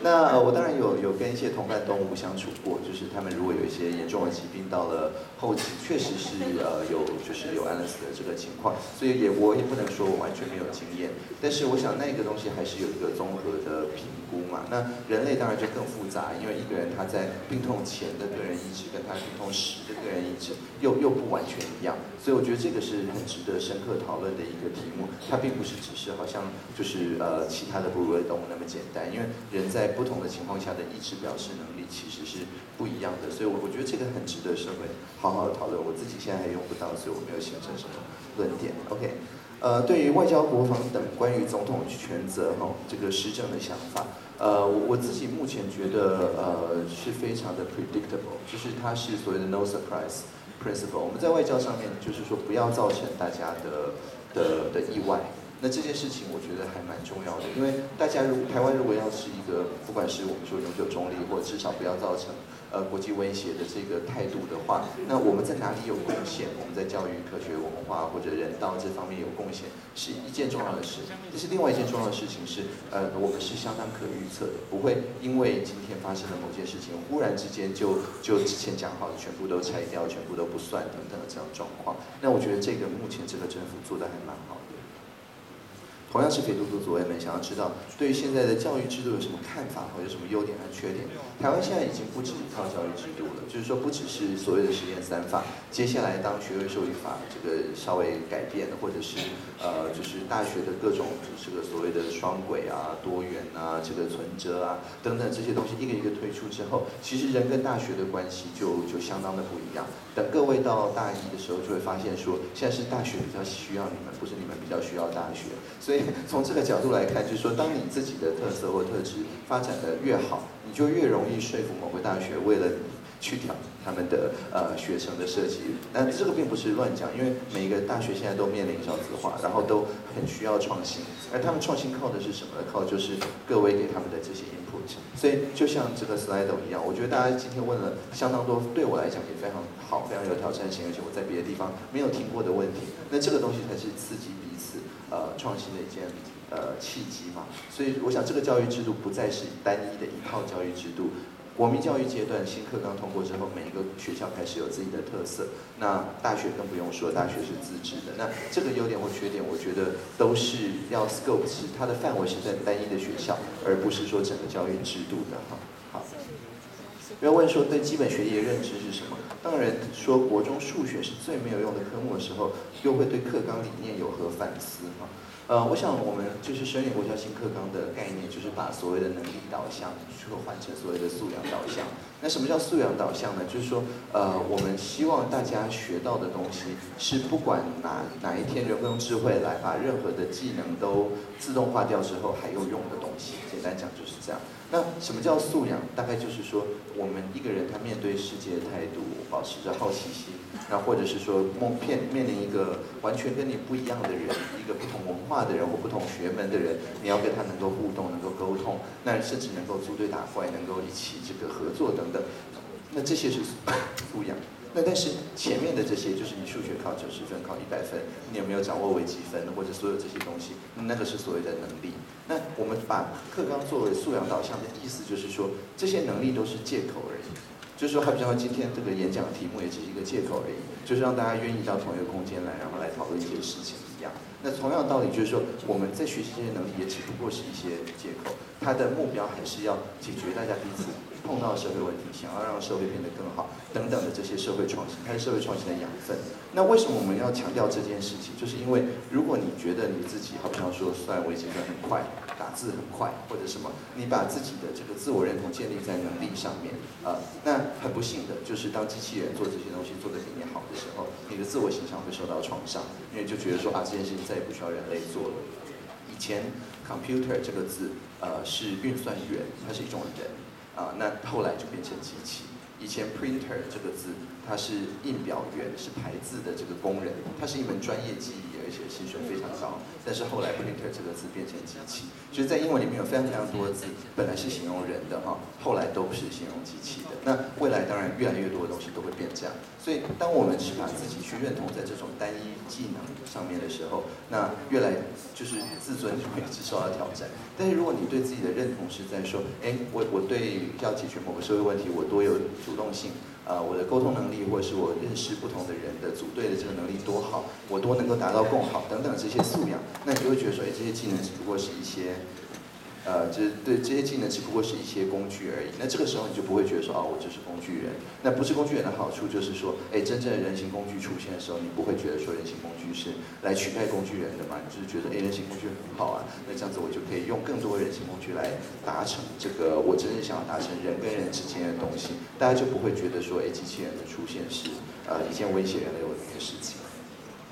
有位朋友问说，如何在现今社会变迁底下，哈，哪一种技能或知识能够让自己最站站住自己的脚，哈，最不容易被取而代之？非常好的问题。这个其实就是回到刚刚的那个素养导向。素养导向最最重要的一件事情，就是持续学习的这个能力。啊，如果是自发的，就是说你碰到一个事情，现在没有任何理论工具，那你就是去学相旁边最相近的一些理论工具，然后试着把它弄成呃你用得到的这个样子。如果有做过科展的话，可能大概就知道我在讲什么。就是说，很多时候并没有现成的理论能够解决你的问题。但是这个时候就好像是说你要到天空上某个方向，那你就不会管说，哎，那个方向的旁边的星星它本来是什么座什么座什么座，这些星座可能就像我们分成什么社会学、经济学、什么呃理理学院、什么文学院什么东西，它就是人来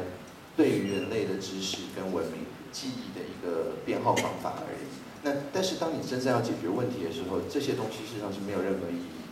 你就是那个方向最靠近的几颗星星，我管它本来是什么星座，你都学了之后，你就可以大概知道那个方向要去怎么做。所以我想，这个就是跨学门、跨领域的这个概念，我觉得才是最重要的呃技能或者是知识。这个技能或知识比任何单一学门的技能或知识呃都更可贵。但是如果你试着综合过不同的学门或者不同的朋友的力量，做过一些 project 的话，大概这个东西并没有很难学了。啊，有三十位朋友想要说嗨，嗨，这个感谢吴淑伟同学。呃，有位朋友问说，请问同学团体运用了什么心理学的原理，让大家呃离不开手机哈？呃，这这里面有当然很多很多原理了，一个是人类的一个叫做多巴胺回路，就是 dopamine cycle，这个如果对心理学有兴趣，就可以呃多看一下这个东西。另外一个是所谓的 FOMO，就是 fear of missing out，因为人类是群居的动物，那群居的动物里面，呃，我们心里有一个机制，就是说我很怕我的这个社群里面所有其他人都知道某件事，只有我不知道，这叫 fear of missing out，就是说好像只有我一个人不知道，但其他人都已经知道了。那这个就是因为当你这这个状况在原始人的情况下多发生几次，你可能就被这个群体所排拒、所排除，你可能就不再属于这个群体。虽然现在社会根本没有这件事情，可大家还是会有这样子的情况。就像是有很多呃演讲经验比较不丰富的人，他一上台之后就会很紧张，就会觉得说这个口干舌燥、讲不出话来等等，就是因为在原始社会里面，当你有几千双眼睛一起盯着你的时候，通常你是猎物哈。所以我的意思是说，这里都是脑里面的一些回路，这些回路它在某些特定情况发生的时候就会触发。那出发时候，你当然可以用刚刚讲一些认知心理学的方法，精神按摩什么东西，去把自己的玻璃心去做强化。那但是这个工作其实必须是很有意识做的。如果没有做的话，那就是我们本来就是脑里面基因里面写了什么就是什么。所以这里面就是通讯软体会用各种各样的方法，好比说人看到红色的东西就会想要把它按掉，等等的这些东西，它每一个后面都有一些心理学的机制。那它又有非常多的人可以去测，我们叫 A/B testing，就是对其中一半的人做某个，对另外一半的人做某个，看大家反应怎么样。所以那些没有办法用理论解决，他们还可以用实证去解决。所以一直测到现在就变成是说，几乎除非你有意识的，像我，我是用了一个叫做 Facebook Feed Eradicator，这个是很有意思的一个的一个呃 plugin。呃，在 Firefox 跟 Chrome 都可以装，所以我的浏览器里面就装了这样子一个 plugin。那这个 plugin 呢，我我现在上 Facebook，呃，我的那个 feed 是完全看不到的，是被清空的。然后呢，它是通常不会被换成某个哲学家或某个心理学家的一段影言哈。好，就就这样，对，好，所以当然你也可以自定一个影言。那这个好处是什么？就是说 Facebook 对我来讲，它就不不可能让我看到我不预期看到的东西。我还是可以去某个粉丝页，我还是可以去做关键字搜寻。我如果关心我的朋友，我还是可以一个一个去他的页面看。可就这个就跟去别的网站一样，我是先知道我要看到什么，心里有准备，然后我再看到那个东西。那他就可以把这个就是呃所谓的就叫做什么不预期性爆场，就是每一次我不知道会发生什么事情，然后他又再多刺激我多巴胺和录一点点的这个东西把它取消掉。那取消掉之后，其实 Facebook 里面最让人上瘾的那个部分就不见了。好，所以就是说，我们还是有一些就是保护自己心理卫生的一些方法可以去运用，然后就慢慢的就可以知道说，哦，通讯软里面哪些部分真的只是要让你在上面多待久一点，哪些东西是对你有意义的。那这个足凡不及备载，有非常非常多相关的理论。那大家如果感兴趣的话，其实有很多的 research 可以看哈。有一位招伟说自己，真的，呃，这个说这个，呃，有没有看过直播风暴没有？对于所有资讯透明化有什么样的看法哈？我觉得这个可能是不可避免的一个趋势，就是说随着资讯透明那么容易，直播那么容易开。大家就会变成像呃照相机刚发明的时候一样，就是说大家照相机刚发明的时候，大家是曾经有一段时间是有没有除魅的过程，因为你不知道它的原理嘛，甚至还有说啊会这个攫取人的灵魂啊什么东西，就是但在当年这些都是曾经流传过的一些谣言。那所以随着大家越来越知道说啊直播是怎么一回事，资讯透明化是怎么一回事，大家就可以协商出一种新的 norm，就是新的社会的常模来。大家就知道说，好比像说我们在进入一个讨论的时候，大家都知道手上有手机的人掌握权力。可是每个人都有手机了，所以呢，与其大家分别直播，不如是不是就在中间放一个球形的三六零，大家都不用这个互相拿这个镜头对着彼此等就是说，我们未来就会越来越多词汇能够去讨论出怎么样才是一个比较适合的空间构筑的方法大概是这样。呃，零点零又问说，对于虚拟实境目前可能发展方向以及长期的可能性有什么看法？哈，目前的虚拟实境它就是之前都基本上是实验性质的，那现在就是终于那一根这个电缆可以拿掉了，然后终于呃就是它就是不需要你花很多时间装那个追追击器。你也可以就是很自由的在房间里面走动了。那手势的输入也输入的相当好了，所以可以说是我们到现在才慢慢脱离了实验室里面那个你要忍受不舒服才能用 VR 的那个阶段。那但接下来大家最关心的就是说，那你进入的那个 VR 的环境，它是栩栩如生，这都没有问题。但是你用来是跟现有的地球上面的其他人互动，在大家这个能够彼此学习的，呃，可能我没有去过澎湖潜水，我也可以体验去潜水的感觉，等等的这种方式互动，还是大家是在完全空想的、架空的，而且不是跟别的人类，完全是跟一些机器人互动，这两个是完全不同的方向，它是可以让社会越来越紧密，呃，越来越能够彼此谅解，或者是它可以让每个人都活在自己的现实里面。那我觉得当然，就像大家有，就是上上学跟自己一个人宅在家里发呆的时间，是是不不一样的嘛。所以我想生活里面这两个部分都是一定是有的，只是它的比重到底会变成是大家越来越能够彼此了解，还是越来越不彼此了解？那这个是 VR 技术，我想大家最需要关注的一件事情。不过至少我目前看起来都是往呃越来越彼此了解这个方向去发展。几个大的 VR 的 project 大概都是往这个方向去做，所以我目前还算是呃蛮乐观的。请问，我认为台湾学生是否该延后上学时间？哈，嗯，我我想这不能一概而论了，就是说。之前我们在重点上面曾经处理过，就是说第八节课不能强制上课的这件事情。那后来我们有收到一个结论，就是说，呃，他必须要是一个人自愿留下来，他才留下来。而且就算全班都留下来，只有一两个人不留下来，学校也不能够有一个同意书，好像强迫你非签不可。因为当时新闻里面有流传有一张同意书，它的三个选项都是我同意哈，就是 像蛮蛮作弊的。那所以我们当时的一个具体结论就是，教育部也发函了，就是说你。不能印就像那种样子同意书，它虽然是合理的同意书，但里面没有不同意这个选项。对，那所以所以我想这件事情是是一件事。那另外就是说，当然高中阶段就是所谓的早自习或者是呃这个部分，它如果会造成大家睡眠不足，那看学校所存在的呃实际的地理位置以及学生的组成，它确实也是可以检讨一件事情。那这个就是每个学校的学生以及老师呃一起去决定。我觉得这并不是全台湾一体适用的，有些偏乡的学校。校它的交通状况、地理环跟呃各个不同的都市或者是其他地方学校是不同的，所以我还是觉得这个要让学校有一定程度的自主性，至少要让那个县市政府有一定程度的自主性。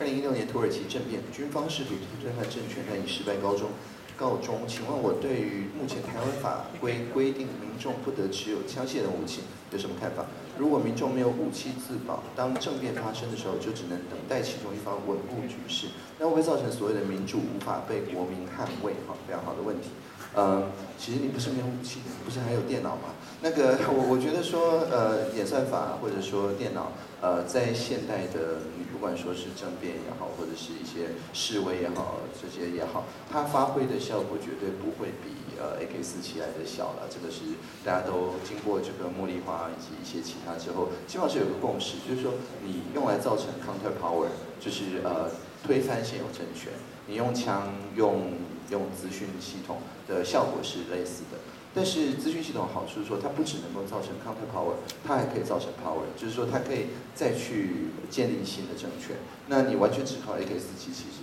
困难的，它本身不是一个治理模型啊。所谓枪杆子出政权的意思是，它能够让你拥有政权，但是不是说让你能够去建立一个大家可以同意的治理模型。所以我还是觉得说，如果大家对这件事情有兴趣的话，呃，可以去看一些。就是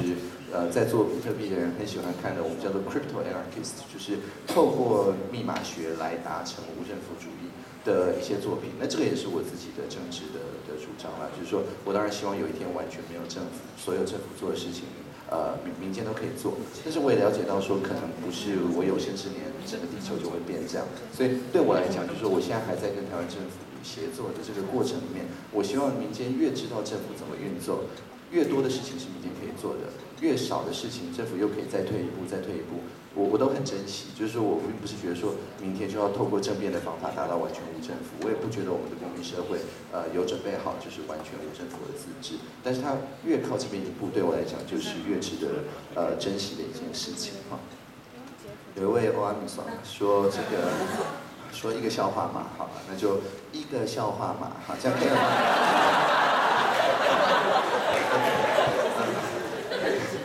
我以前在苹果是在那个 Siri team 哈，虽然我不是剧本组的，但是剧本组的各种花招都有都有碰到，所以这个应该是没有什么太大的问题。好，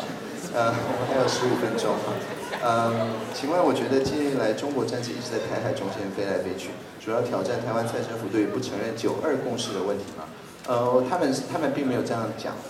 当然也不应该帮他们这样子讲了。那但是不管是文攻武赫还是 Photoshop 攻击哈，我觉得当然都是有效的这个新战喊话。但是这个新战喊话它的效果到底多大？它是建立在大家对这件事情多在意上面。就是说，如果大家是有一定程度的认知，愿意去找更多的资讯去看等等，那这些新战喊话就比较无效。那如果大家本来就是充满了这个怀疑或充满了投降主义，那这些新战喊话当然就有效。这个实际上是一念之间的事情，所以我们在网络上面就是去操作这样子的一些我们叫做 meme，就是会传播的这些图片或什么的时候，后面有一个危险，就是说大家大家就麻痹了。就是你看到后来就觉得哦，那不过就是另外一张猫咪贴图而已。就是一开始还会觉得很可爱，但是当你看了十五次之后啊，就是那张猫咪贴图，或者说你是第一次看到黑人问号觉得很好笑，你第一百次看到黑人问号就没有觉得那么好笑。所以任何新战喊话都是一样的，就是说当大家慢慢习惯了，就可以达到这个所谓处变不惊的这样子一个情况，而更愿意去了解实际呃的情况了。我觉得这是比较重要的。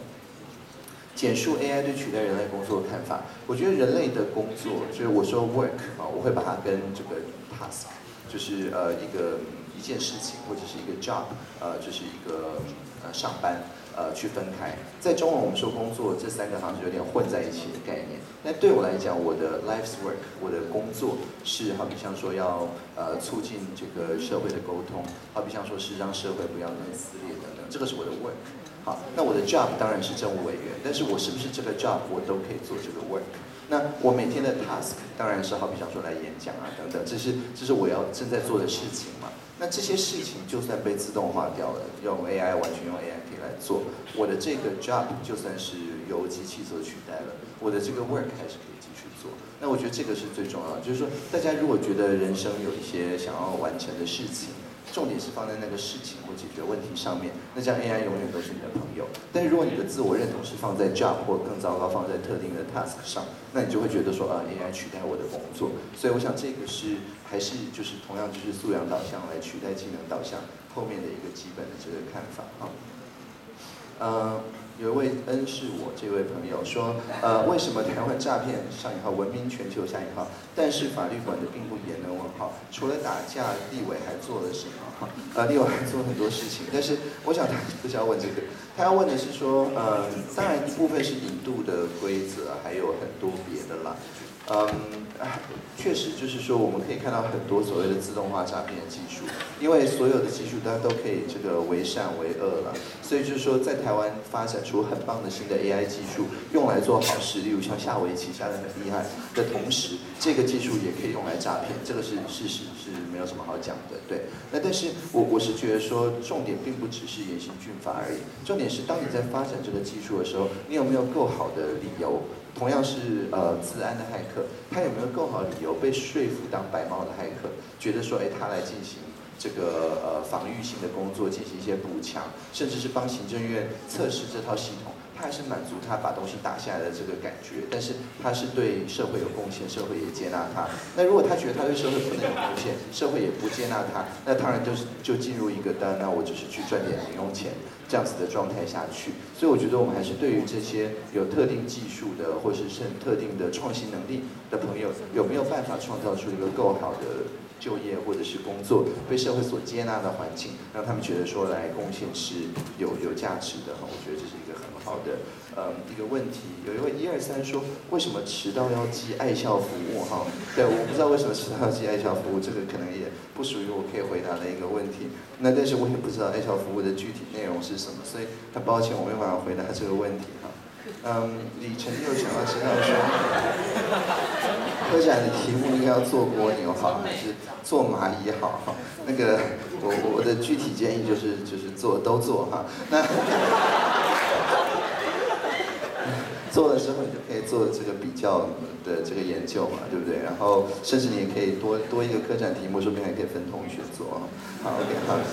那有一位编想要知道说，请问立法院存在实质的意义是哪些吗？是否真的算民主？呃，我觉得当然立法院它存在的一个很大的一个功能，就是让大家看到法规制定的讨论的过程。那这个我们目前其实不管协商已经直播了嘛，或立法院及时的公报，接下来会有必载的电视台，让大家能够看立法院。至少在大部分的法案他们审查讨论的过程，它确实是有累积相当多很好的一些资讯，让呃民间是可以讨论的。当然，在某些特定就是以动员或什么方式来处理的法案，可能没有好好讨论，那这个也是事实。但是我想，呃，从全世界的角度来看，台湾立法院并不是特别差的。然后在资讯的透明上面，或者是程序的公开上面，其实也并没有那么差。那至于是不是算是民主，它当然是民主啊，这是所谓的代议民主。代议民主就是大家选一些人出来代替我们讲话的民主。那大家都可以监督这些人是不是真的有这个呃代代替讲话的这件事情。那我们目前是在试着用一些审议民主，呃，就是大家。讨论到大家虽满意但可接受的状况，一些直接民主，好比像说大家可以联署，要政府来讨论一些事情，来呃补强这个代议民主，来让代议民主能够有更呃充足的资源、更充足的资讯，能够去看到除了他的选区的特定朋友之外。其他的利益关系人的声音是什么？但最后，如果是他事关法律的修订，我目前还是交给立法院去修订，所以它当然算是民主，但是这个民主当然还有改进的空间哈。如果你愿意这个来志愿来帮忙改变一下的话，我觉得我们永远都需要更多的人。有位 XWGHD 想要知道说，对在这场演讲使用这种方式，学校表现如何哈？我我通常不会把学校跟学校之间加以比较啊，就像我小时候也不会喜欢跟别人比较分数一样。但我可以讲说有些特色，就是说，呃，我我觉得你们是就是底下的那个聊天室，就是用的非常的炉火纯青，就是大家这样 能够这个一面一面听很认真的讨论，然后一面一面在底下这个对。大家进行分享，对对对对，例例如像这样子，为了鼓励一下这位同学，我要念出来哈。他说：嗨，大家好，我是香蕉王，我是游戏款真正的真正游戏，最一开始我会玩，是因为先注也有在玩，然后是大家刚才一直在玩，他也推荐我，然后我只要一上线，他就说叫我把资源应用给他，然后我一个个处理，然后我慢慢慢发现我资源几乎是不太够用，然后他还一直要我给他，然后我想说我玩这个游戏的意义到底是什么？我我也不知道意义是什么，说真的。对，那那我我觉得这个这个双双轨制的这个这个讨论的这件事情，我我觉得蛮蛮不错的，就是大家都有掌握到，一方面在这边这个耍废，但是一方面又有问出非常有深度的问题，而且还能够按赞，就是同时运用这个网络这这两种特性，我觉得是运用的非常好。那呃礼礼貌方面，我觉得非常非常棒啊，并并没有任何不礼貌的成分，所以我觉得相当的相当的不错哈，今天。那呃，有一位国选闪光超人物后三十，呃，问说这个选择无性别的内在的理由是什么？哈，内在理由跟外在理由其实是一样的。当初呃，我进行政院的时候，他们要我填那个人事的表格，然后呢，我在呃政党栏那那边填了无，然后旁边就性别栏嘛，然后我就也写无。那我想这两个是很有意思，就是说，呃，有一些外国记者来访问，然后呢，他就说，哎，这个在台湾啊，这个 LGBT 的权益状况如何啊？那个家长是不是能够接受？就是好比像说一个人，他说他既不是男生也不是女生，或既是男生或者是女生，或者是这个有这种双性恋啊等等这种倾向，大家接受的程度怎么样？然后呢，因为当然也是看到我的这个报道嘛，然后我就跟他说，其实台湾是非常多元的社会，一般来讲这个接受度还蛮高的，比起。这个如果家长是一个党籍，然后他的小孩是另外一个党籍的，这个接受度要来得高。也就是说，在台湾，其实不管是所谓的蓝绿恶斗啊的的的这个状况。比起这个所谓的这个同同同性婚姻或性别平权或这些东西，其实对政治的一些很多参与者来讲，反而是政党这边比较严重，或统独啊或什么东西比较严重，性别感觉上就还好而已。那这两个栏位都写我，我是本来的想法就是说，是让大家都能够看到说，其实都有一些别的可能性。那我到现在都还是对政党或者党派完全没有兴趣。那接下来在可能县市长就要选举嘛，我也不会帮任何人站台，不管是别人还是呃新的这个对手。所以我想这个概念都是一样的，就是说我们可以做一些政治的工作，我们可以做一些人权的工作，但我们不需要因为你是哪个政党的，或因为你是哪个性别的，就一定要符合社会期待，用什么方式做。这大概是目前的几个理由。还有六分钟。有位张立阳说：“我今天最想要被问到什么问题？哈，会怎么回答？哈，呃，我最想要被问到的问题就是这个问题，哈。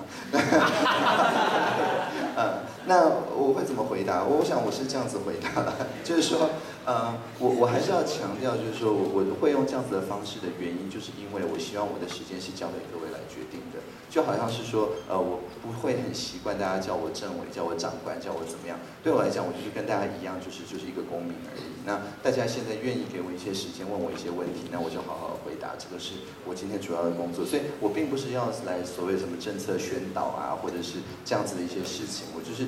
觉得说，哎，大家愿意给我一个时间，这样子聊天是很很开心的。那也希望说，大家如果未来碰到就是。更高级的官员，就是总统啊、院长啊，或或所有其他的这些官员，也要记得，就是说所谓的民主社会的意思就是这样，就是说任何公权力就是大家暂时借给我们，给我们一点时间，给我们一些资源来回答大家问题，来解决大家问题，就只是这样子而已，它并没有比这个多的东西。虽然戒严时代的时候，大家要相信完全一套不同的东西，但在民主时代就是这样子而已。那这个是我今天比较想要回答的这件事情。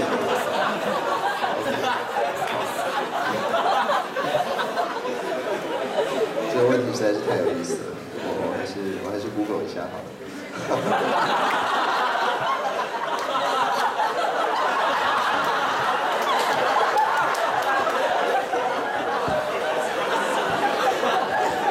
好，OK，那个我我本来不认识，我现在认识。OK，嗯嗯，有位剩粉。想要知道我的编型的看法是什么？我我我基本上我们今天就是我这我现在正在演讲的时候，我的团队正在准备，就是这个礼拜五要讨论这件事情。那呃，我们讨论这件事情其实是有一个讨论的脉络的。那这个脉络其实哎，这个可以先公开吗？好像可以先公开。这个没有没有任何人看过哈，就是我们团队以外没有任何人看过。这个就是我们礼拜五准备要讨论的一个脉络。然后开来。这那可以看到，其实我同事现在都还一直在编辑这个讨论的脉络。就是说，关于这件事情，其实有非常非常多互相不一定重叠的一个层面，它没有办法很简单的一两句话来解决。所以我们准备一个讨论，就是就是这种准备方式啊。我们每次准备之前都花了。大量的研究的工作，然后相关的这个呃礼拜五会来参与的部会是非常非常非常的多。那我们的讨论的脉络大致是是这样子吧，就是说呃简单来讲，就是任何的社会问题，它在讲出一个特定的解决方式之前，它都有一些东西需要理清。就是说，大家同样看到这两个字的时候，大家在讲的意思到底是不是？同一件事情，大家想的是某些特定的穆斯林国家，还是新加坡呢？还是什么其他的部分？然后大家对于酒驾的这件事情的认知是什么？对于社会的整体影响是什么？然后以及现有的，就是不管要不要做变形，现有的状况有哪些？哪些东西是之前已经试过，后来发现不好用的？哪些是还没有做，但是未来也许是有用的？然后这些东西跟这位提案人要的解法。这个中间的互动是什么？会不会有搭配的效果？然后以及这整件事情，呃，就好像改时区一样，对于这个台湾的，不管是在国际上还是在国内的文化上面的影响等等会有哪些？所以就是说，当你问我看法是什么的时候，我基本上只能开这种心智图给你看，因为它非常非常的复杂，它没有办法一两句话讲完。那我们在做协作会议的特性，就是要。这个心智图里面每一个贡献的人，他都能够看到在不同的端点的人的其他朋友在想什么。我们常常就是说，哎，自己看到一部分，然后就说，哎，我要这个，或者我不要这个，但是 就很难看到说，哎，大家。提出各种不同的解法，彼此之间攻击等等，后面大家可能有一个共同想要解决的问题。那我们是透过协作会议的方式，把这个共同问题发掘出来，然后再来讨论说，呃，特定的解决方式到底是不是好用，或它需要哪些配套，或它其实不是最好的办法。所以我并没有预设的立场，但是讨论的脉络刚刚有跟大家分享过哈。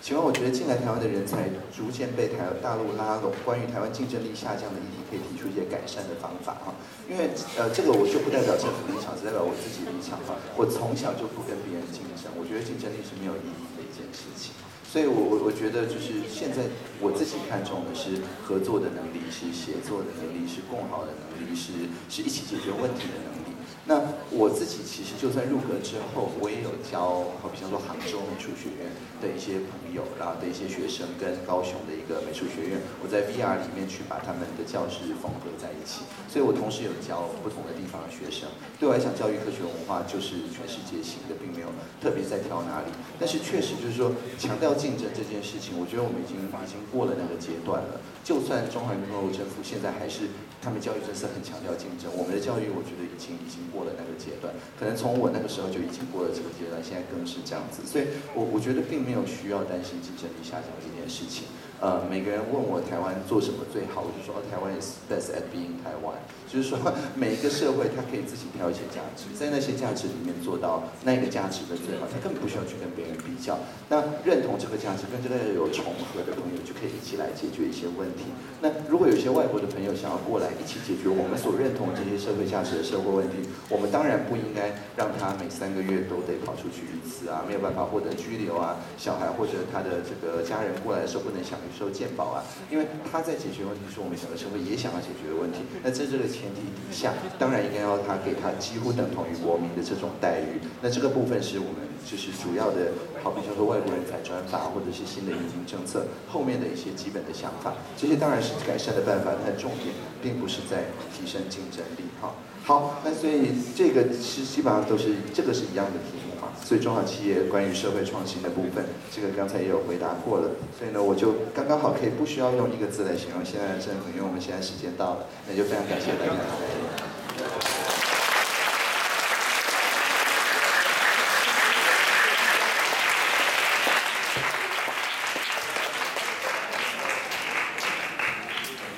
我们刚刚在这两个小时，整整的两个小时。相信真正用心有在听的同学们，都可以领受到我们政委的智慧跟博学，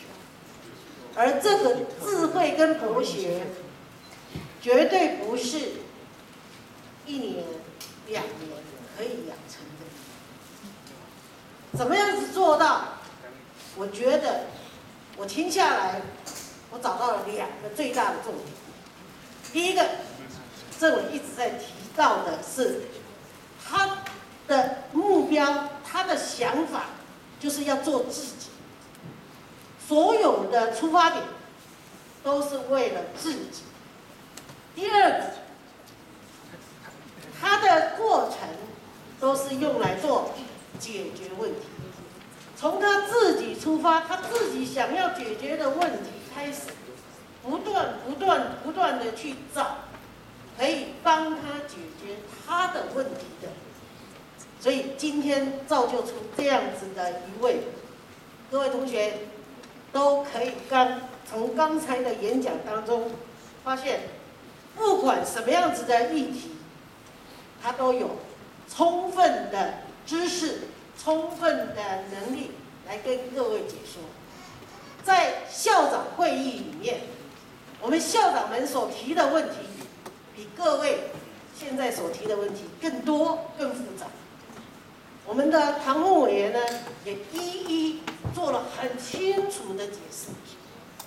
这个功力绝对不是我们在底下可以随便糊弄。所以刚才虽然我看到我们的同学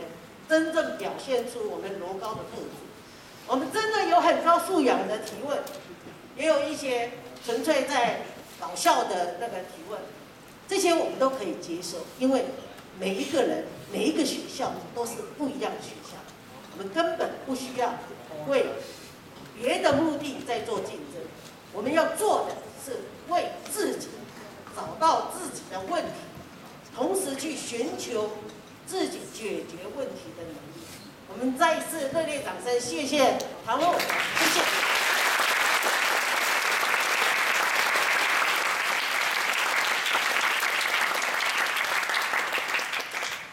好，那我们有准备一个那个简单的纪念品要致赠给我们的委员哦。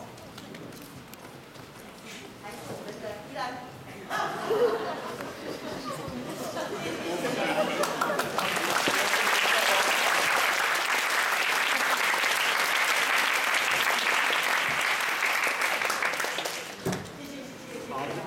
我们要做一个大合照的动作哦，所以麻烦后面那个后面的同学往前站一点。那等下我们请委员可能站到我们中间来，那我们跟全校照个合照。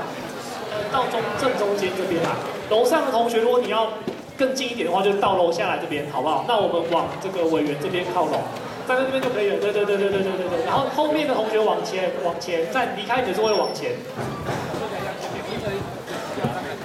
那等一下听我们那个我们的摄影师哦来指挥大家。哦，如果你要上上镜头的话，就往前哦。那如那个如果你觉得你有你有看到镜头，你可以不用动。镜头在这边。Yes。但这个好位置。啊什么？这里不错。那光是体宽才能挡住。不要闪。好哦。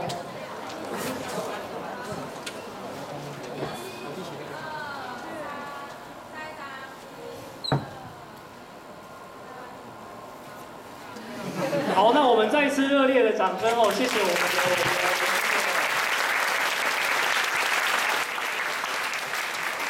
好，那因为时间的关系，哦，那同学们的下一节课好像已经要开始了，对不对？好，